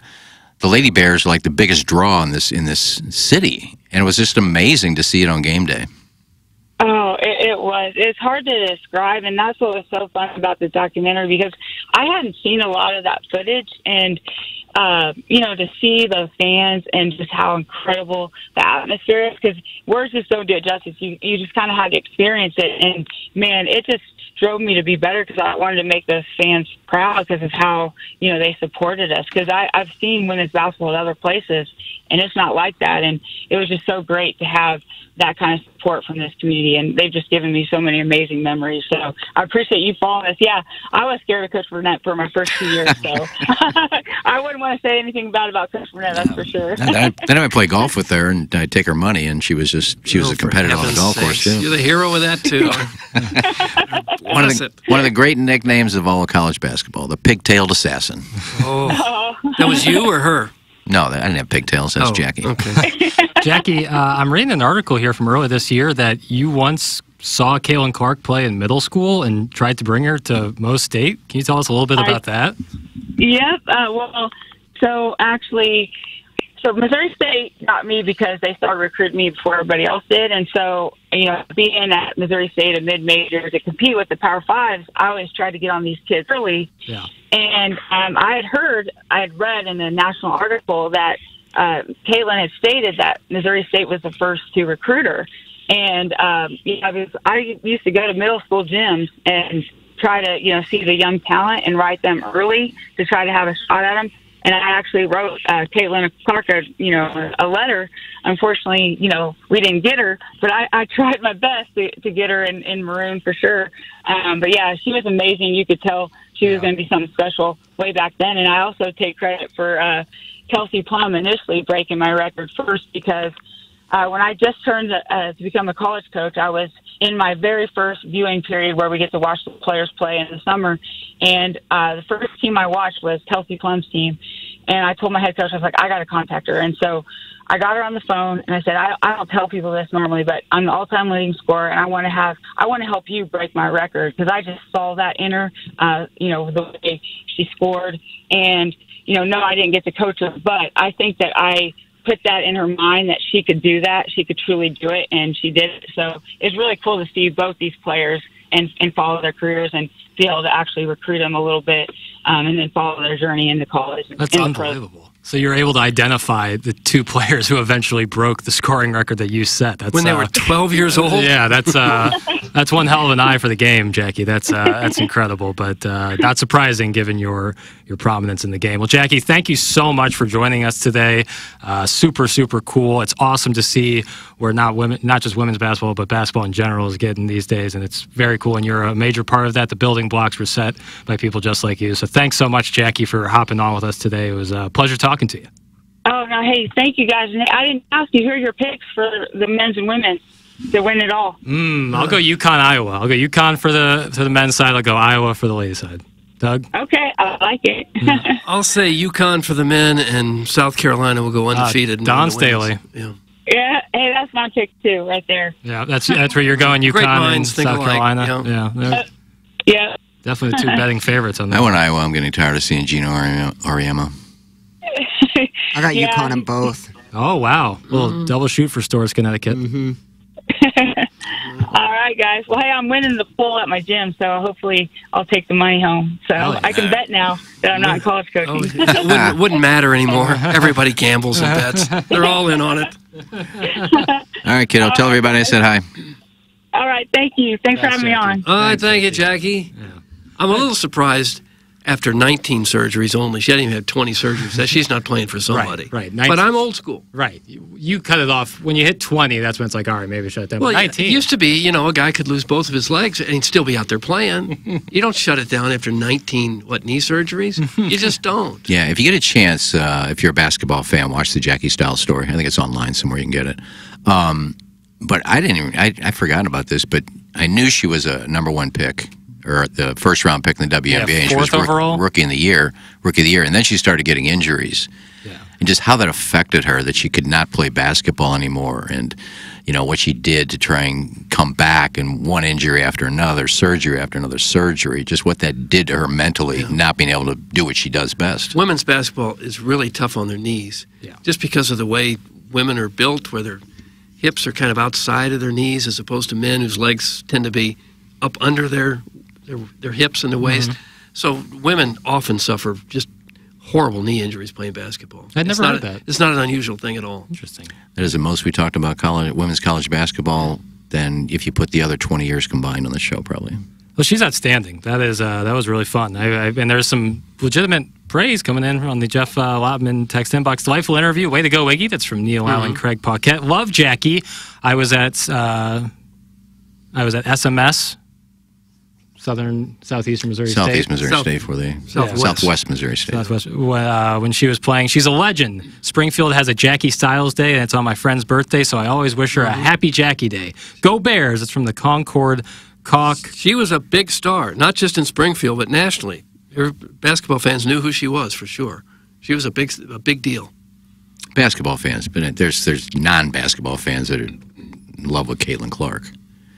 Oh, That- yeah. That's that's Well, it's, probably it's bigger now, much more media, much Yeah. more exposure. And she and she said that, and I, that's the truth because there was no social media back. There was social media back then. you know, she'd probably have you know a million followers on Twitter, Mhm. and Yeah, she would have. well, maybe not. She's she's not. Still don't think she's in a social Well, she media. would have because she was very cute and she was very personable and she had she was the whole package. She'd have been a, a much bigger star than she was. Yeah, yeah, and part of the reason Caitlin Clark is so huge with social media stuff is the it's the short clips where you she you know breaks somebody off and shoots a thirty footer and Mhm. nails it, and or yelling at a ref, or screaming at somebody, or talking trash, and she doesn't. That's that's a that's I, I just have to push back on that narrative. I really do. She is unbelievably respectful to everybody, and yeah, she gets into it with the rest, but so do a that's what thousand other players. But she she doesn't doesn't. do a lot of trash talking. She did the face thing last year. That's about the extent of it. Yeah, it's enough. She gets fired up. Got her a lot of attention. Yeah. Okay, but is every Major League Baseball player like a baby when they argue with the balls and strikes with the umpire? Is every NFL coach a child for Yeah, I look at at the them like that if they continue to argue. All right, fair Well, enough. I think anyone's consistent. anyone is allowed that first burst of emotion, that initial, oh, come on, that's okay. If you keep it going for 30, 45 seconds, that's too much. Yeah, If you ever watch Coleman Hawkins play basketball, I understand emotions are annoying. But I if- get, I get, so, I got so annoyed with Coleman Hawkins when he would just throw up his arms. He he really looked like tantrum style. When you're, I'm sure when you're playing in front of 20,000 people, so much on the line, you're you're tired, you're emotional, you're trying the 100% of your energy to win, and a, a call goes your way or against you. It's hard not to be emotional in that in that second that it happens. Yeah, right, 100. percent And that's not, if you're not getting teed up, it's okay to do it as long as you're not going to get teed up and hurt your team. Yeah, that's the yeah. problem. There's- there are getting- limits, for Yeah, sure. Right, uh, Iggy, that was flawless. Flowed really smooth. Like fine questions, Jackson. Lager Tequila Listener of the Month for February 24. It's Mr. Smith. Great interview. Nice eggs. Get nice. Get eggs. I lived in Springfield from 02 to 06, and Lady Bears were huge. I never Mhm. heard of Iggy while I was there, but Ned Reynolds was great. That's from Lefty Jacksmere. No, that's how can you not hear me? I was on the show with him. Because Ned was the star and you were just a sidekick. Okay. You were the star and Ned was the sidekick? Uh, it became that way, and that's Oh, why he wanted me fired. Heaven's sakes. Awesome interview. Loved it. Smith 314. Iggy, this is getting uh, credit to you, brother. That was a, that was a great Mm-hmm. get right there. Perfect timing, given that the women's Final Four is tonight. So well done there, Iggy. Game Yeah, it wasn't. It wasn't that tough to get her on, but it was. I mean, it was just a no-brainer. I mean, Caitlin Clark Oh, absolutely. breaking the record, women's Final Four. She went Yeah. to the Final Four. Did you so- try to get Caitlin Clark? No. Oh, I don't have a number for her. I wouldn't even Swing and know. a miss. Yeah, that'd be tough. Uh, isn't this the same guy who fires tee shots into people on the golf course with zero regard for decency and decorum? It's from Hall of Famer, Well- soon to be Hall of Famer Carlos Spicy. Yeah, I wasn't talking about myself. I was talking about Jackie and Caitlin. I'm not saying I'm a perfect. I can be a dick a lot of times. Oh, well. Okay, back to the sex talk. It's from the total Okay. package. Uh, surprisingly pleasant interview. Nice Mhm. booking by the decomposing potato. That's Oh. from Tervis Parish. That's I feel like you're decomposing, do you? I, I, got- I was going to make a baked potato the other day. It was decomposing. I started peeling it, and it was like, oh, nothing but brown spots. Oh, you got to watch for those spuds. What was that other potato they used to call you? Ashen sweet potato. That's it. What is an ashen sweet potato? That one's burnt. That one's tough. Uh, is it better than the leaf pile though? leaf pile. That one I don't get. The rawlings, man, Leaf always pile. have me. Leather was rough. well, they're running out of them. Better come up with some new ones. Yeah, leaf pile seems like they're kind of pushing, straining credulity a little bit. But maybe I'm off. This leaf pile is big. I'm not big. Yeah, that's kind of wide. If Depends nothing on how many leaves you pile up. You ever jump into a leaf pile? Sure. All the time. There'd be that random stick in there. Yeah. Jab you in your butt or somewhere. Oh. Uh, great interview. Balls in your court, KG. How are you going to top Hmm. that? It's from Hoosier Daddy. Oh, wait, we're not having contest here. No. Good, good. I like this. Comparison is the th- uh, is the Mhm. thief of joy, Doug. The thief of joy. Why can't we just celebrate? It's Friday. It's, Right. Let's get positive. What's on your weekend Mm-hmm. tab for the? Yeah, it's kind of a two-man team. I gave Ja I gave KG the number, and he got her on. Yeah, well, tan. Well, I call. You know, we call that Doug an alley Mm-hmm. Tag team. Alley Yeah. oop. Alley oop. I was a little worried because when I first called her, she said there was an echo and wanted me to call her back, and I just I didn't want to screw that up for you, Ig. So I'm glad it worked out. Mm-hmm. Hey, both of you knocked it Yeah, right we'd out have the worked park. it out. It was probably her phone. And she's just a delight. Yeah. yeah. Doug, what's on the weekend for you? Uh, Watching these I'm- I'm going to go see Young Gordy today. Oh, Mazel tov Uh, once the again. rest of the weekend, uh, not much at the moment. Kind of wide open still. Oh, nice. It's going to warm up a little bit, I think. Yeah, it's gonna be. Uh, I think tomorrow's gonna be okay in the mid 60s or something. Well, our weekend plans? Yeah, Six Flags. Maybe a Six Flags run. No, I got to take the camper out to Madison's parents because they have a nice long driveway. We got to clean it out, seal it up for the the summer. Going to take that out in May, so want to make sure that that's all buttoned up. You got to put asphalt on there. No, I'm saying I don't have a lot of space like where I park it to like Oh. pop it up and get it all cleaned out and taken care of. He has a shop back there, so kind of easy to kind of use all of his uh, stuff. And How many trips did you take in that camper? We did six weeks, so six weekends. So if you added up 17 days of camping, if I do that for 10 years, I'm paying about 20 bucks a camp. Compared to what I paid, I paid about four grand. Can you keep that going for ten years? Oh, that thing, yeah. You like still get the just- thrill out of it? Nine or ten years? From I think when we have kids, we'll be even more so. Yeah. Yeah. I think so. now? All right. There's enough room in there for a couple of kids. The, the four or five you're going to have. I'm not gonna have four or five. We'll have one or two, but we probably won't bring the dogs and the kids. And obviously, when we have kids, one of the dogs will sadly be passed away by that point. Yeah. So Well, I'll give some tips because this is the weekend, uh, usually the weekend before the Masters. If the weather is warm, that's when I start planting. Uh, get my sunflowers in the ground. Then I have a little plot of ground this year. Last year I couldn't because I was back in the back and I got sun like five minutes out of the day, uh, covered by trees. This year I got a little bit of a uh, little bit of patch of ground. Oh, have you? I can probably get four sunflower seeds in there. That's all you need. And they'll probably grow, and then they'll maybe cut them down because they'll be, hey, I can't get to the air conditioner. It's right next to the air conditioner units. Well, then why don't you grow carrots or something that won't clog up the air conditioner? No, because then squirrels will eat them and piss on them and all kinds of stuff. Oh, so. gosh. Um, but hummingbird feeders. If you've never had a hummingbird feeder, this is the time to do it. If you've had one up for many, many years, like I do, eh, they're going to come regardless. Red liquid in there. No, no, just sugar water. Um, now, I, my container is red, so it looks like it's red. And every time I post it this time of year, people, hey, you're not supposed to use red liquid, man. Why not? No, I don't. It's it's a red colored feeder. Why can't you use red liquid? It's not good for the birds when you put like dye in there or something that has red in it that makes it. A lot of this food you can buy that has red coloring. Oh, red 482. Yeah, it's- Dangerous stuff. It's not good for the birds. So just use Not good for the regular regular sugar water. Um, and if you've had them for quite a few years, like I have, I, the same birds come back every year. How do you know? It's just it's a well known fact that hummingbirds know where their food is, and they can fly all the way to Mexico. And when they get to St. Louis, their area where they've been, they know where the food was the last couple of years. How long does a hummingbird live? I don't know. Best hummingbirds in baseball. That's what we are. That's what they. That's why they It's got to be here. just a, a year or two at the most, right? I don't know, but they they they say they know. I don't know. I never asked a bird. They don't talk. You should consider it. but they say that uh, hummingbirds have great memories. That they will know where their food was the year before. Now Heckle and Jekyll could talk. They were talking magpies. Yeah, talking magpies. um, but Ripped from today's headlines. but if you've never had a hummingbird and you want to try to get them this year, now is the time because they're making their way. The scouts are making their way looking for the food, and they're in Missouri now. So you put them up, the scouts come by. They actually have scouts that find the food, and they let the other hummingbirds know, hey, there's a supply here, there's a supply there. Just like the swallows return to Capistrano. Yeah. Hey, speaking of talking birds, uh, do we have time for that Stephen A. Smith audio, Jackson? Yeah, Hey, absolutely. yeah. You know, there are birds that talk. Yeah, yeah, well, yeah, parakeets. That's incredible, isn't it, to hear a bird talk? We got a little audio about a talking bird. Oh, and we I'd talk, like we act like it's so casual, like the birds are just talk. Like I, who's the first guy to see like what the And here we got an email from Steve6544 at I love ilovewomen.com. You're not far off. He wants to A. talk about Listen, birds. At PPL, have more fun. People have more fun. Hey, Stephen A., I've got a pet bird, and he's one of the ones that talks and repeats things. Well, I was going this last week for a work trip, and after my girl left for work this morning, my bird keeps yelling out another man's name. Do I confront her? I don't know. Maybe I'm overthinking. No, you're not. Hell no, you're not. if that bird is known to repeat things. If you're literally telling me he's one of the he- he's a pet bird and he's one of the ones that talks and repeats things, so you know his character. And if he is repeating the name of another dude, one or two things happen.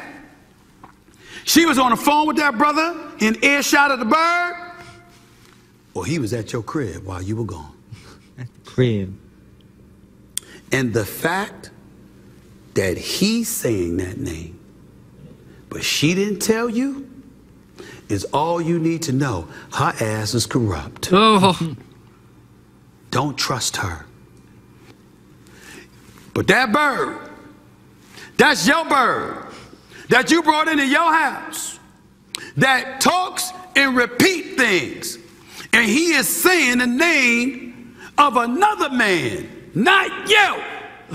and it only happened after you were gone and you came back. Yeah, we know that. It didn't happen before that. You got some problems at home, my brother. Mm.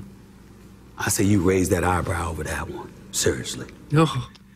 Yeah, 'cause it's not going to be like one time you say the name. You're have You're to say right. You'd have to say it a thousand times before the bird would start He repeating must it, probably. be Yeah, that's why either playing it's- in work that week. Either he's going in the route of uh, Dear Deidre and making things up, or the email is fake. I think it's made up, I but too. still, I think it's fun to dive into a that story nonetheless. But definitely made up. If she had a gentleman call her over, she might say his name, what, two times? Once or twice? Depending on how good of a job he's doing. Yeah, I was gonna say, if you're putting in that work, A bird doesn't learn that in one day, I two days, three so. days. You got to hundreds and hundreds and hundreds of times for a bird to hmm a parrot. And you're a student of the aviary sciences. Gives me the heebie-jeebies. No, I know somebody that had a had a parrot.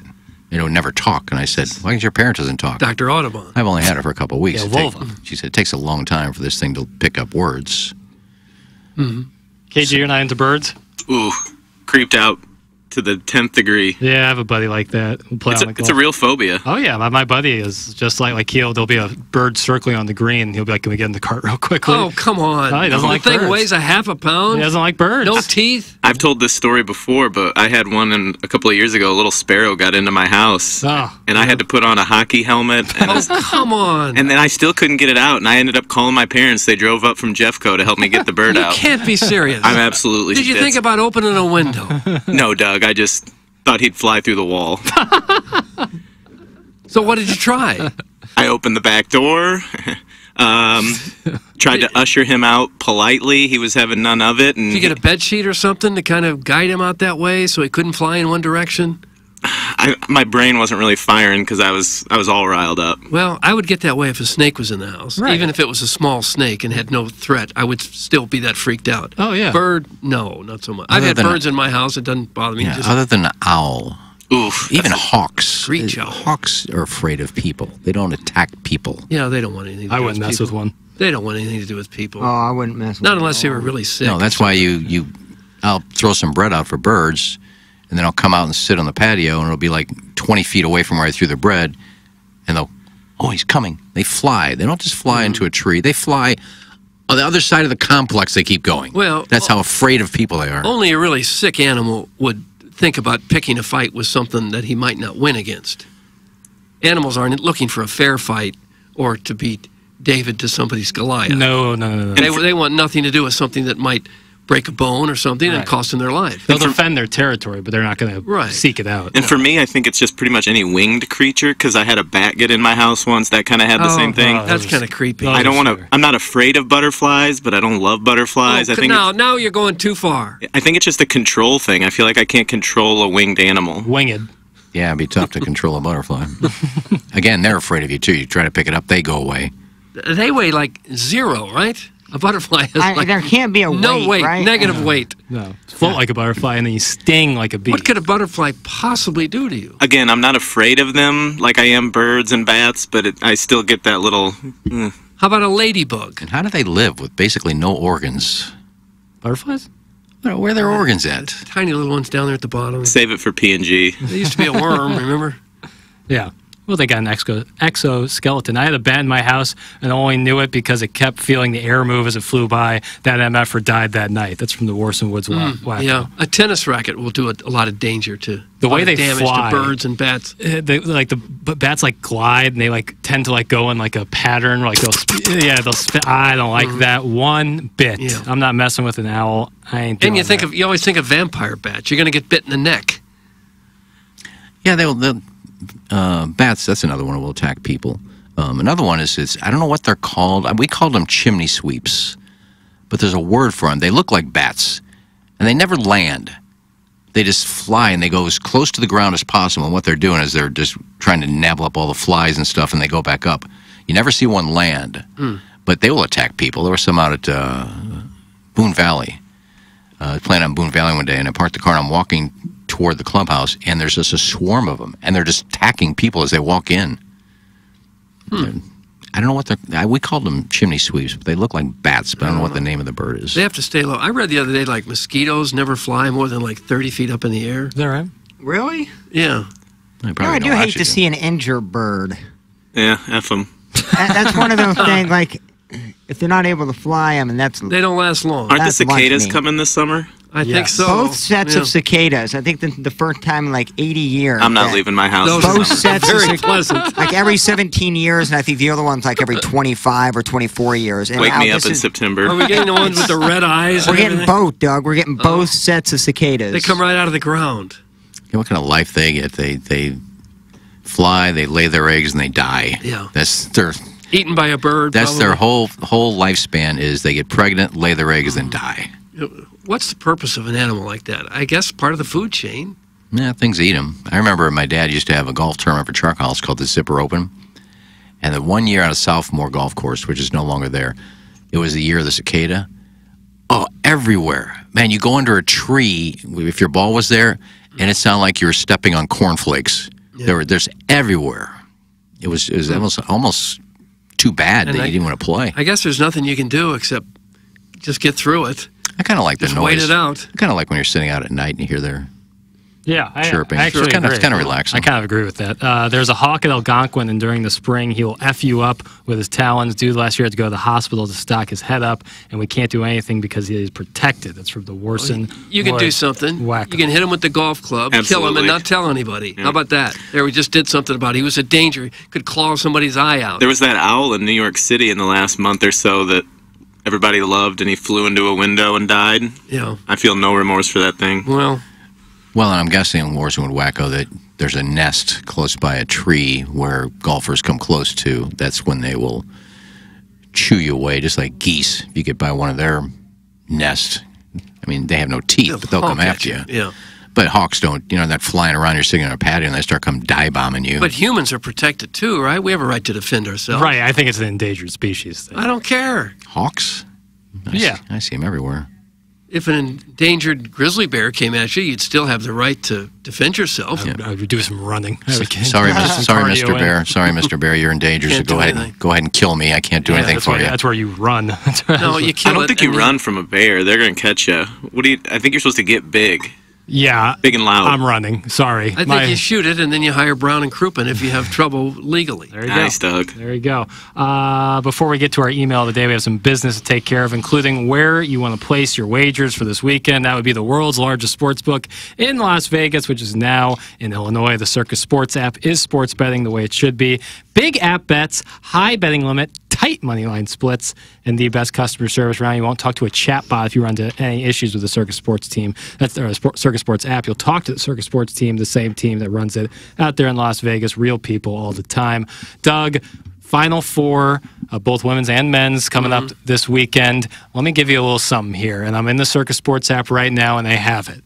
If you want a fun bet, now this isn't a bet that you're going to do a lot of research for, and there's going to be a lot of data. This is purely for fun. All right. If you want to have a little bit of fun, if you want to really sweat, first to 10 point prop. The first team to 10 points. It is an it's an electric factory how much fun it is to bet on that because there's teams that end up getting blown out by 30 that might take a 10 to 8 lead mm-hmm. at the beginning of the game. If you like Alabama, plus 175 against the heavily favored UConn, minus 200 to get to that first to 10. NC State plus 155 as Purdue's minus 175 in that first to 10. It is a ton of fun bet, and they have that and so many other props as long as the tight money line splits on those games. Looking to wager this weekend, I suggest the Circa Sports which is now available in Illinois. Visit circasports.com for more details and get ready to start betting like a pro. If you or someone you know may have a problem with gambling, call 1 800 Gambler or text ILGAMB to 833 234. Another lovely sponsor of this presentation is Longo Biggs. Plowsy, can I hear a little bit about Longo Biggs? If you could, please, Plowsy, the lever. Go Bigs is a wonderful sponsor of TMA. If you are injured in a car accident and you need an attorney, you need the best one you can find. If any of my family or friends are ever injured in an accident, I want them to call Doug Biggs and CD Longo at Longo Biggs Injury Law. For nearly 10 years, Doug Biggs and CD Longo have been recognized as the top 40 under 40 personal injury lawyers by Super Lawyers, the National Academy of Personal Injury Attorneys, and the National Trial Lawyers Association. They're not the churn and burn type of law firm. With Doug and CD, it won't be just another file lost in the shuffle. If you have questions about your case, you'll talk to Doug or CD personally, and they will handle every aspect of your case the entire way. They'll get to know you and you will get to know them. Doug and CD are local, friendly, professional, and most importantly, excellent personal injury lawyers. They are online at longobiggs.com. They're TMA listeners. You know what we say? Support the sponsors. It's Longo Biggs. Online at longobiggs.com. Check them out. longobiggs.com. The choice of a lawyer is an important decision and should not be based on an advertisement. And Mark Hanna of Evergreen Wealth Strategies, ladies and gentlemen, if you're out there right now, doesn't matter what age you are, maybe No. you're around my age, 26, just getting started in the workforce, maybe you're 36, 85, yeah, just 90. got just got married, maybe you're about to mm-hmm. have your first kid. You want somebody in your corner to help you out with your financial future. You'd be surprised. You think you might know a lot about finances, but when I'm telling you, when you get involved with someone like Mark Hanna, you'll realize that they are worth they have a lot of value. They have a lot of value. Someone like Mark Hanna is very, very helpful. Uh, if you're someone like me, just like getting into the habit of saving money, the the the value, the amount will obviously change as your life goes on. But getting into that habit of saving every month, you're going to be really happy uh, when you're reaching retirement age that you did so. When you work with somebody like Mark Hanna, it's the way he conveys his message to his clients that set him apart. I love getting on the phone, talking with Mark Hanna. I love seeing him every Wednesday as he pre- presents Jeremy Rutherford and the Blues Report every single Wednesday. Anytime I get a chance to talk with Mark Hanna, it's lovely, especially when I'm talking about my financial future as I have a plan set up with the great Mark Hanna. If you want to get a plan set up with Mark Hanna, you give him a call at 314 889 0503 or go online at evergreenstl.com. It's 954, and that means it's time for our Design Air Heating and Cooling email day in the Schaefer Door Company 9 o'clock hour. Sidekickism. She's a good friend of mine. I wonder whatever happened to her. Huh? I'm with Plowsy on the lack of sex thing. I think email email I'm reading this verbatim. I email in angry because I haven't had sex in 15 years. Hmm. I've been saving myself for my second marriage. But you know who couldn't even go 15 days without sex? No. My buddy Butchie. Oh. I remember the first time I ever went to a wrestling tournament. Butchie wrestled at 98 pounds, so even though he had a normal sized donker, the optical illusion made it look like it was the size of John Holmes. Anyway, Butchie got his opponent on his back and got him in the grapevine. As he encircled his foe's torso, the crowd went wild, chanting, Butchie, Butchie. Well, Butchie had to fast to cut weight for the match, so he was a little out of it. He forgot there were other people around and pulled the other guy's lice- lycra singlet to the side and then went in full force for some dirty bum fun. Okay. Must have been some good stuff because the other wrestle, wrestler orgasmically spasmed all over the mat. No. Craziest darn thing I've ever seen, especially when I know this referee Vince sucking face with Coach Jimmy at the same time. That's uh, Phil, and then the last name is McCreevis. Phil McCrevasse. Daddies, mmm, sup. Opener at home, just another winner. Bow tie, more like booed tie. Get it? Anywho, Ken seemed to get all horned up during that interview. Speaking of horny, Doug, me and you float our way up to Gape Cod to sniff on Kai. I'll let you put my boy scallops on your grill. No. I'll serve that. I'll serve you with the man chowder. Think about it. Place an asterisk next to Pop Pop's wins. Peace, love, and tugs to all. Big love to Ken. Get it? Got it? Flock it. Flocky the Smurf. Flocky the Smurf. Nice flock. Strong finish to the week, fellas, but it will be remembered as the week of the Blueberry Pop Pop reveal. Just legend. I feel like we skipped right over that part when it was made painfully clear that Ken had no idea what a hostile takeover was, just a term that he heard while waiting for nude scenes in succession. What do you mean that it isn't a forceful physical threat? At least we arrived to the conclusion that running a billion dollar sports franchise can be reduced to whoever manages to muscle their way behind a desk. Then they can just declare themselves president. And the next thing you know, fans are being told that they'll be allowed into the stadium with purchased tickets if they bring in a few baseballs or ro- rolls of toilet paper to help reduce team expenses. Maybe the team can even save more money by sending them to Irene, where somehow her magic touch slows hair growth so the haircuts last longer. That's from Shooter McGavin, the vice president of learning so much about Iggy during the Jackie Stiles interview. Shooter McGavin, worried about Iggy during the Jackie Stiles interview. Ahoy, man oh man, me oh my. You guys are amazing. When it comes to hot takes, you can't stop, won't stop. Once again, you delivered third degree burn straight to me ear canals. This ma'am, I mean. Speaking of that, yours truly had a nice pull behind camper you can take a ride in, Doug. Shower, kitchenette, dumper, all the amenities. Even has a nice mid sized fridge fully stocked with beverage alcohol aplenty. Next sojourn I venture off on, what say you go along instead of me wife? She's a Nicky girl and always wanting to hang out and talk and kiss me and stuff. Gross. I'm telling you, this camper is nice. Even has a queen size bed with a nice cushy pillow topper mattress, which is perfect for fiddling around on. And unlike Tiger Woods, homeboy ain't abstaining from copulation. Hopefully, you're picking up what I'm laying down, Dougie boy. In case it's not clear, I'm trying to lure you to have man sex with me in my camper at some random state park. How do you do? Big? Eek? Concerns? Thoughts? No fooling. Lefty Jack Smear. Opening day in downtown St. Louis, a tradition unlike any other. What makes our opening day better than other cities? Easy. It's the ominous steam billowing from every sewer grate and manhole cover. Why is that? What is that mysterious mist, and why does it smell like rotting garbage? No one knows, but it'll definitely burn your lungs if you accidentally breathe it in. We've also got drunk Walrus people from Jeffco stumbling around in their faded JD Drew t-shirts while they fight a losing battle against diabetes. Mm. Don't forget the offensively loud, loud rap music blaring at an 8 a.m. prep rally while someone half-heartedly rambles on about 12 and 24. Speaking of which, here's a juicy little nugget. The Cardinals are definitely going to win the World Series this year. How do I know? A homeless dude on the Metrolink told me so. According to him, the Cardinals are a lock to win it all. The elderly, toothless guy covered in his own urine, who is clearly using the train as a free apartment on wheels, claims the only team who might outdo Ollie's Redbirds is, quote, Shohei Ohtani and the Los Angeles Dodgers. Mm. While this unnamed homeless man was bullish on the local nine, he also warned me to keep an eye on the Braves, Yankees, Rangers, and Diamondbacks. Clearly, he's been reading those newspapers before he uses them as toilet paper to wipe his dirty butt crack. So, thanks to this stranger's sage advice, I'll be shipping my entire bankroll on the last place team with aging starting pitchers and a terrible batting average that barely beat the winless Miami team. That's from the JV hmm. golf coach. JV golf coach. And a brave man for riding Metrolink. Finally, Sadie Hawkins Doug, the Cardinals won their home opener 8 5 over the Marlins. The Blues' playoff chances are down to 0.1% following their last defeat. The Dodgers committed a strong arm robbery of one of their fans who caught Shohei Ohtani's home run. But I think the lead is that Mizzou signed four star quarterback from the state of Georgia, Will Zollers, who will be in the, in the fold this fall. Check that he'll be there next fall. Check that he's from Pennsylvania, not Georgia. And check that his name is Matt Zollers, not mm-hmm. Will Zollers. Right. Pull it together, boy. Pull it together, boy. Pull it together, boy. But it was a nice report. It was well done. That's right. Well, you know, I got the last name right. Mm-hmm. You know, I wish long deceased porn star John Holmes had added all of the Hollywood A-list actresses he banged on the DL before he died. I mean, I'm not going to name the basketball player half my age that I hooked up with over 20 years ago because it would be extremely embarrassing and would definitely da- damage your reputation. But this is different because I have a lot of these old, washed-up actresses' numbers. Maybe I could have phone sex with them like I did with Susan Onspot. Mm. That comes from Buck Swope. Buck Swope, nice little email. And uh, that's going to do it, Doug. Who do you got for this Friday, April 5th? Ah, boy, I don't know on this one. Uh, It's a doozy. I, I just don't know on this one.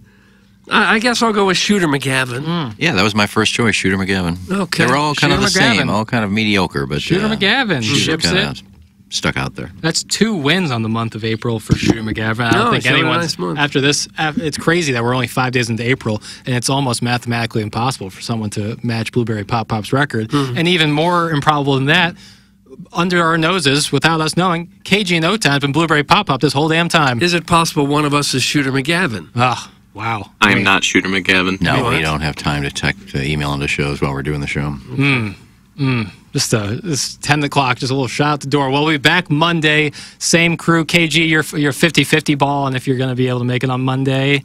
Yeah, uh, I may be able to give you like half a show. Okay. All right. Well, we appreciate your help nonetheless, sir. You've been uh, very uh, helpful with us so far this week, and we always appreciate whenever you can come in. Uh, we'll be back to full strength on Tuesday as Tim will return, and then Doug will go out of town that Wednesday. Josh Ennis will be filling in from 10 to 11 on 101 ESPN while Tim and I or Tim is out of town and we are off from Balloon Party. So that's coming up on 101 ESPN. That's going to do it for us today in the Schaefer Door Company 9 o'clock hour. For Douglas Elvin Vaughn, for Darren the Plowlick Atkins, for Ken Nagy Strode, for KG and O-Town, and for the vacationing Tim McKernan, I'm Action Jackson. This has been The Morning After, presented to you by Brown Crouppen. Open up your TM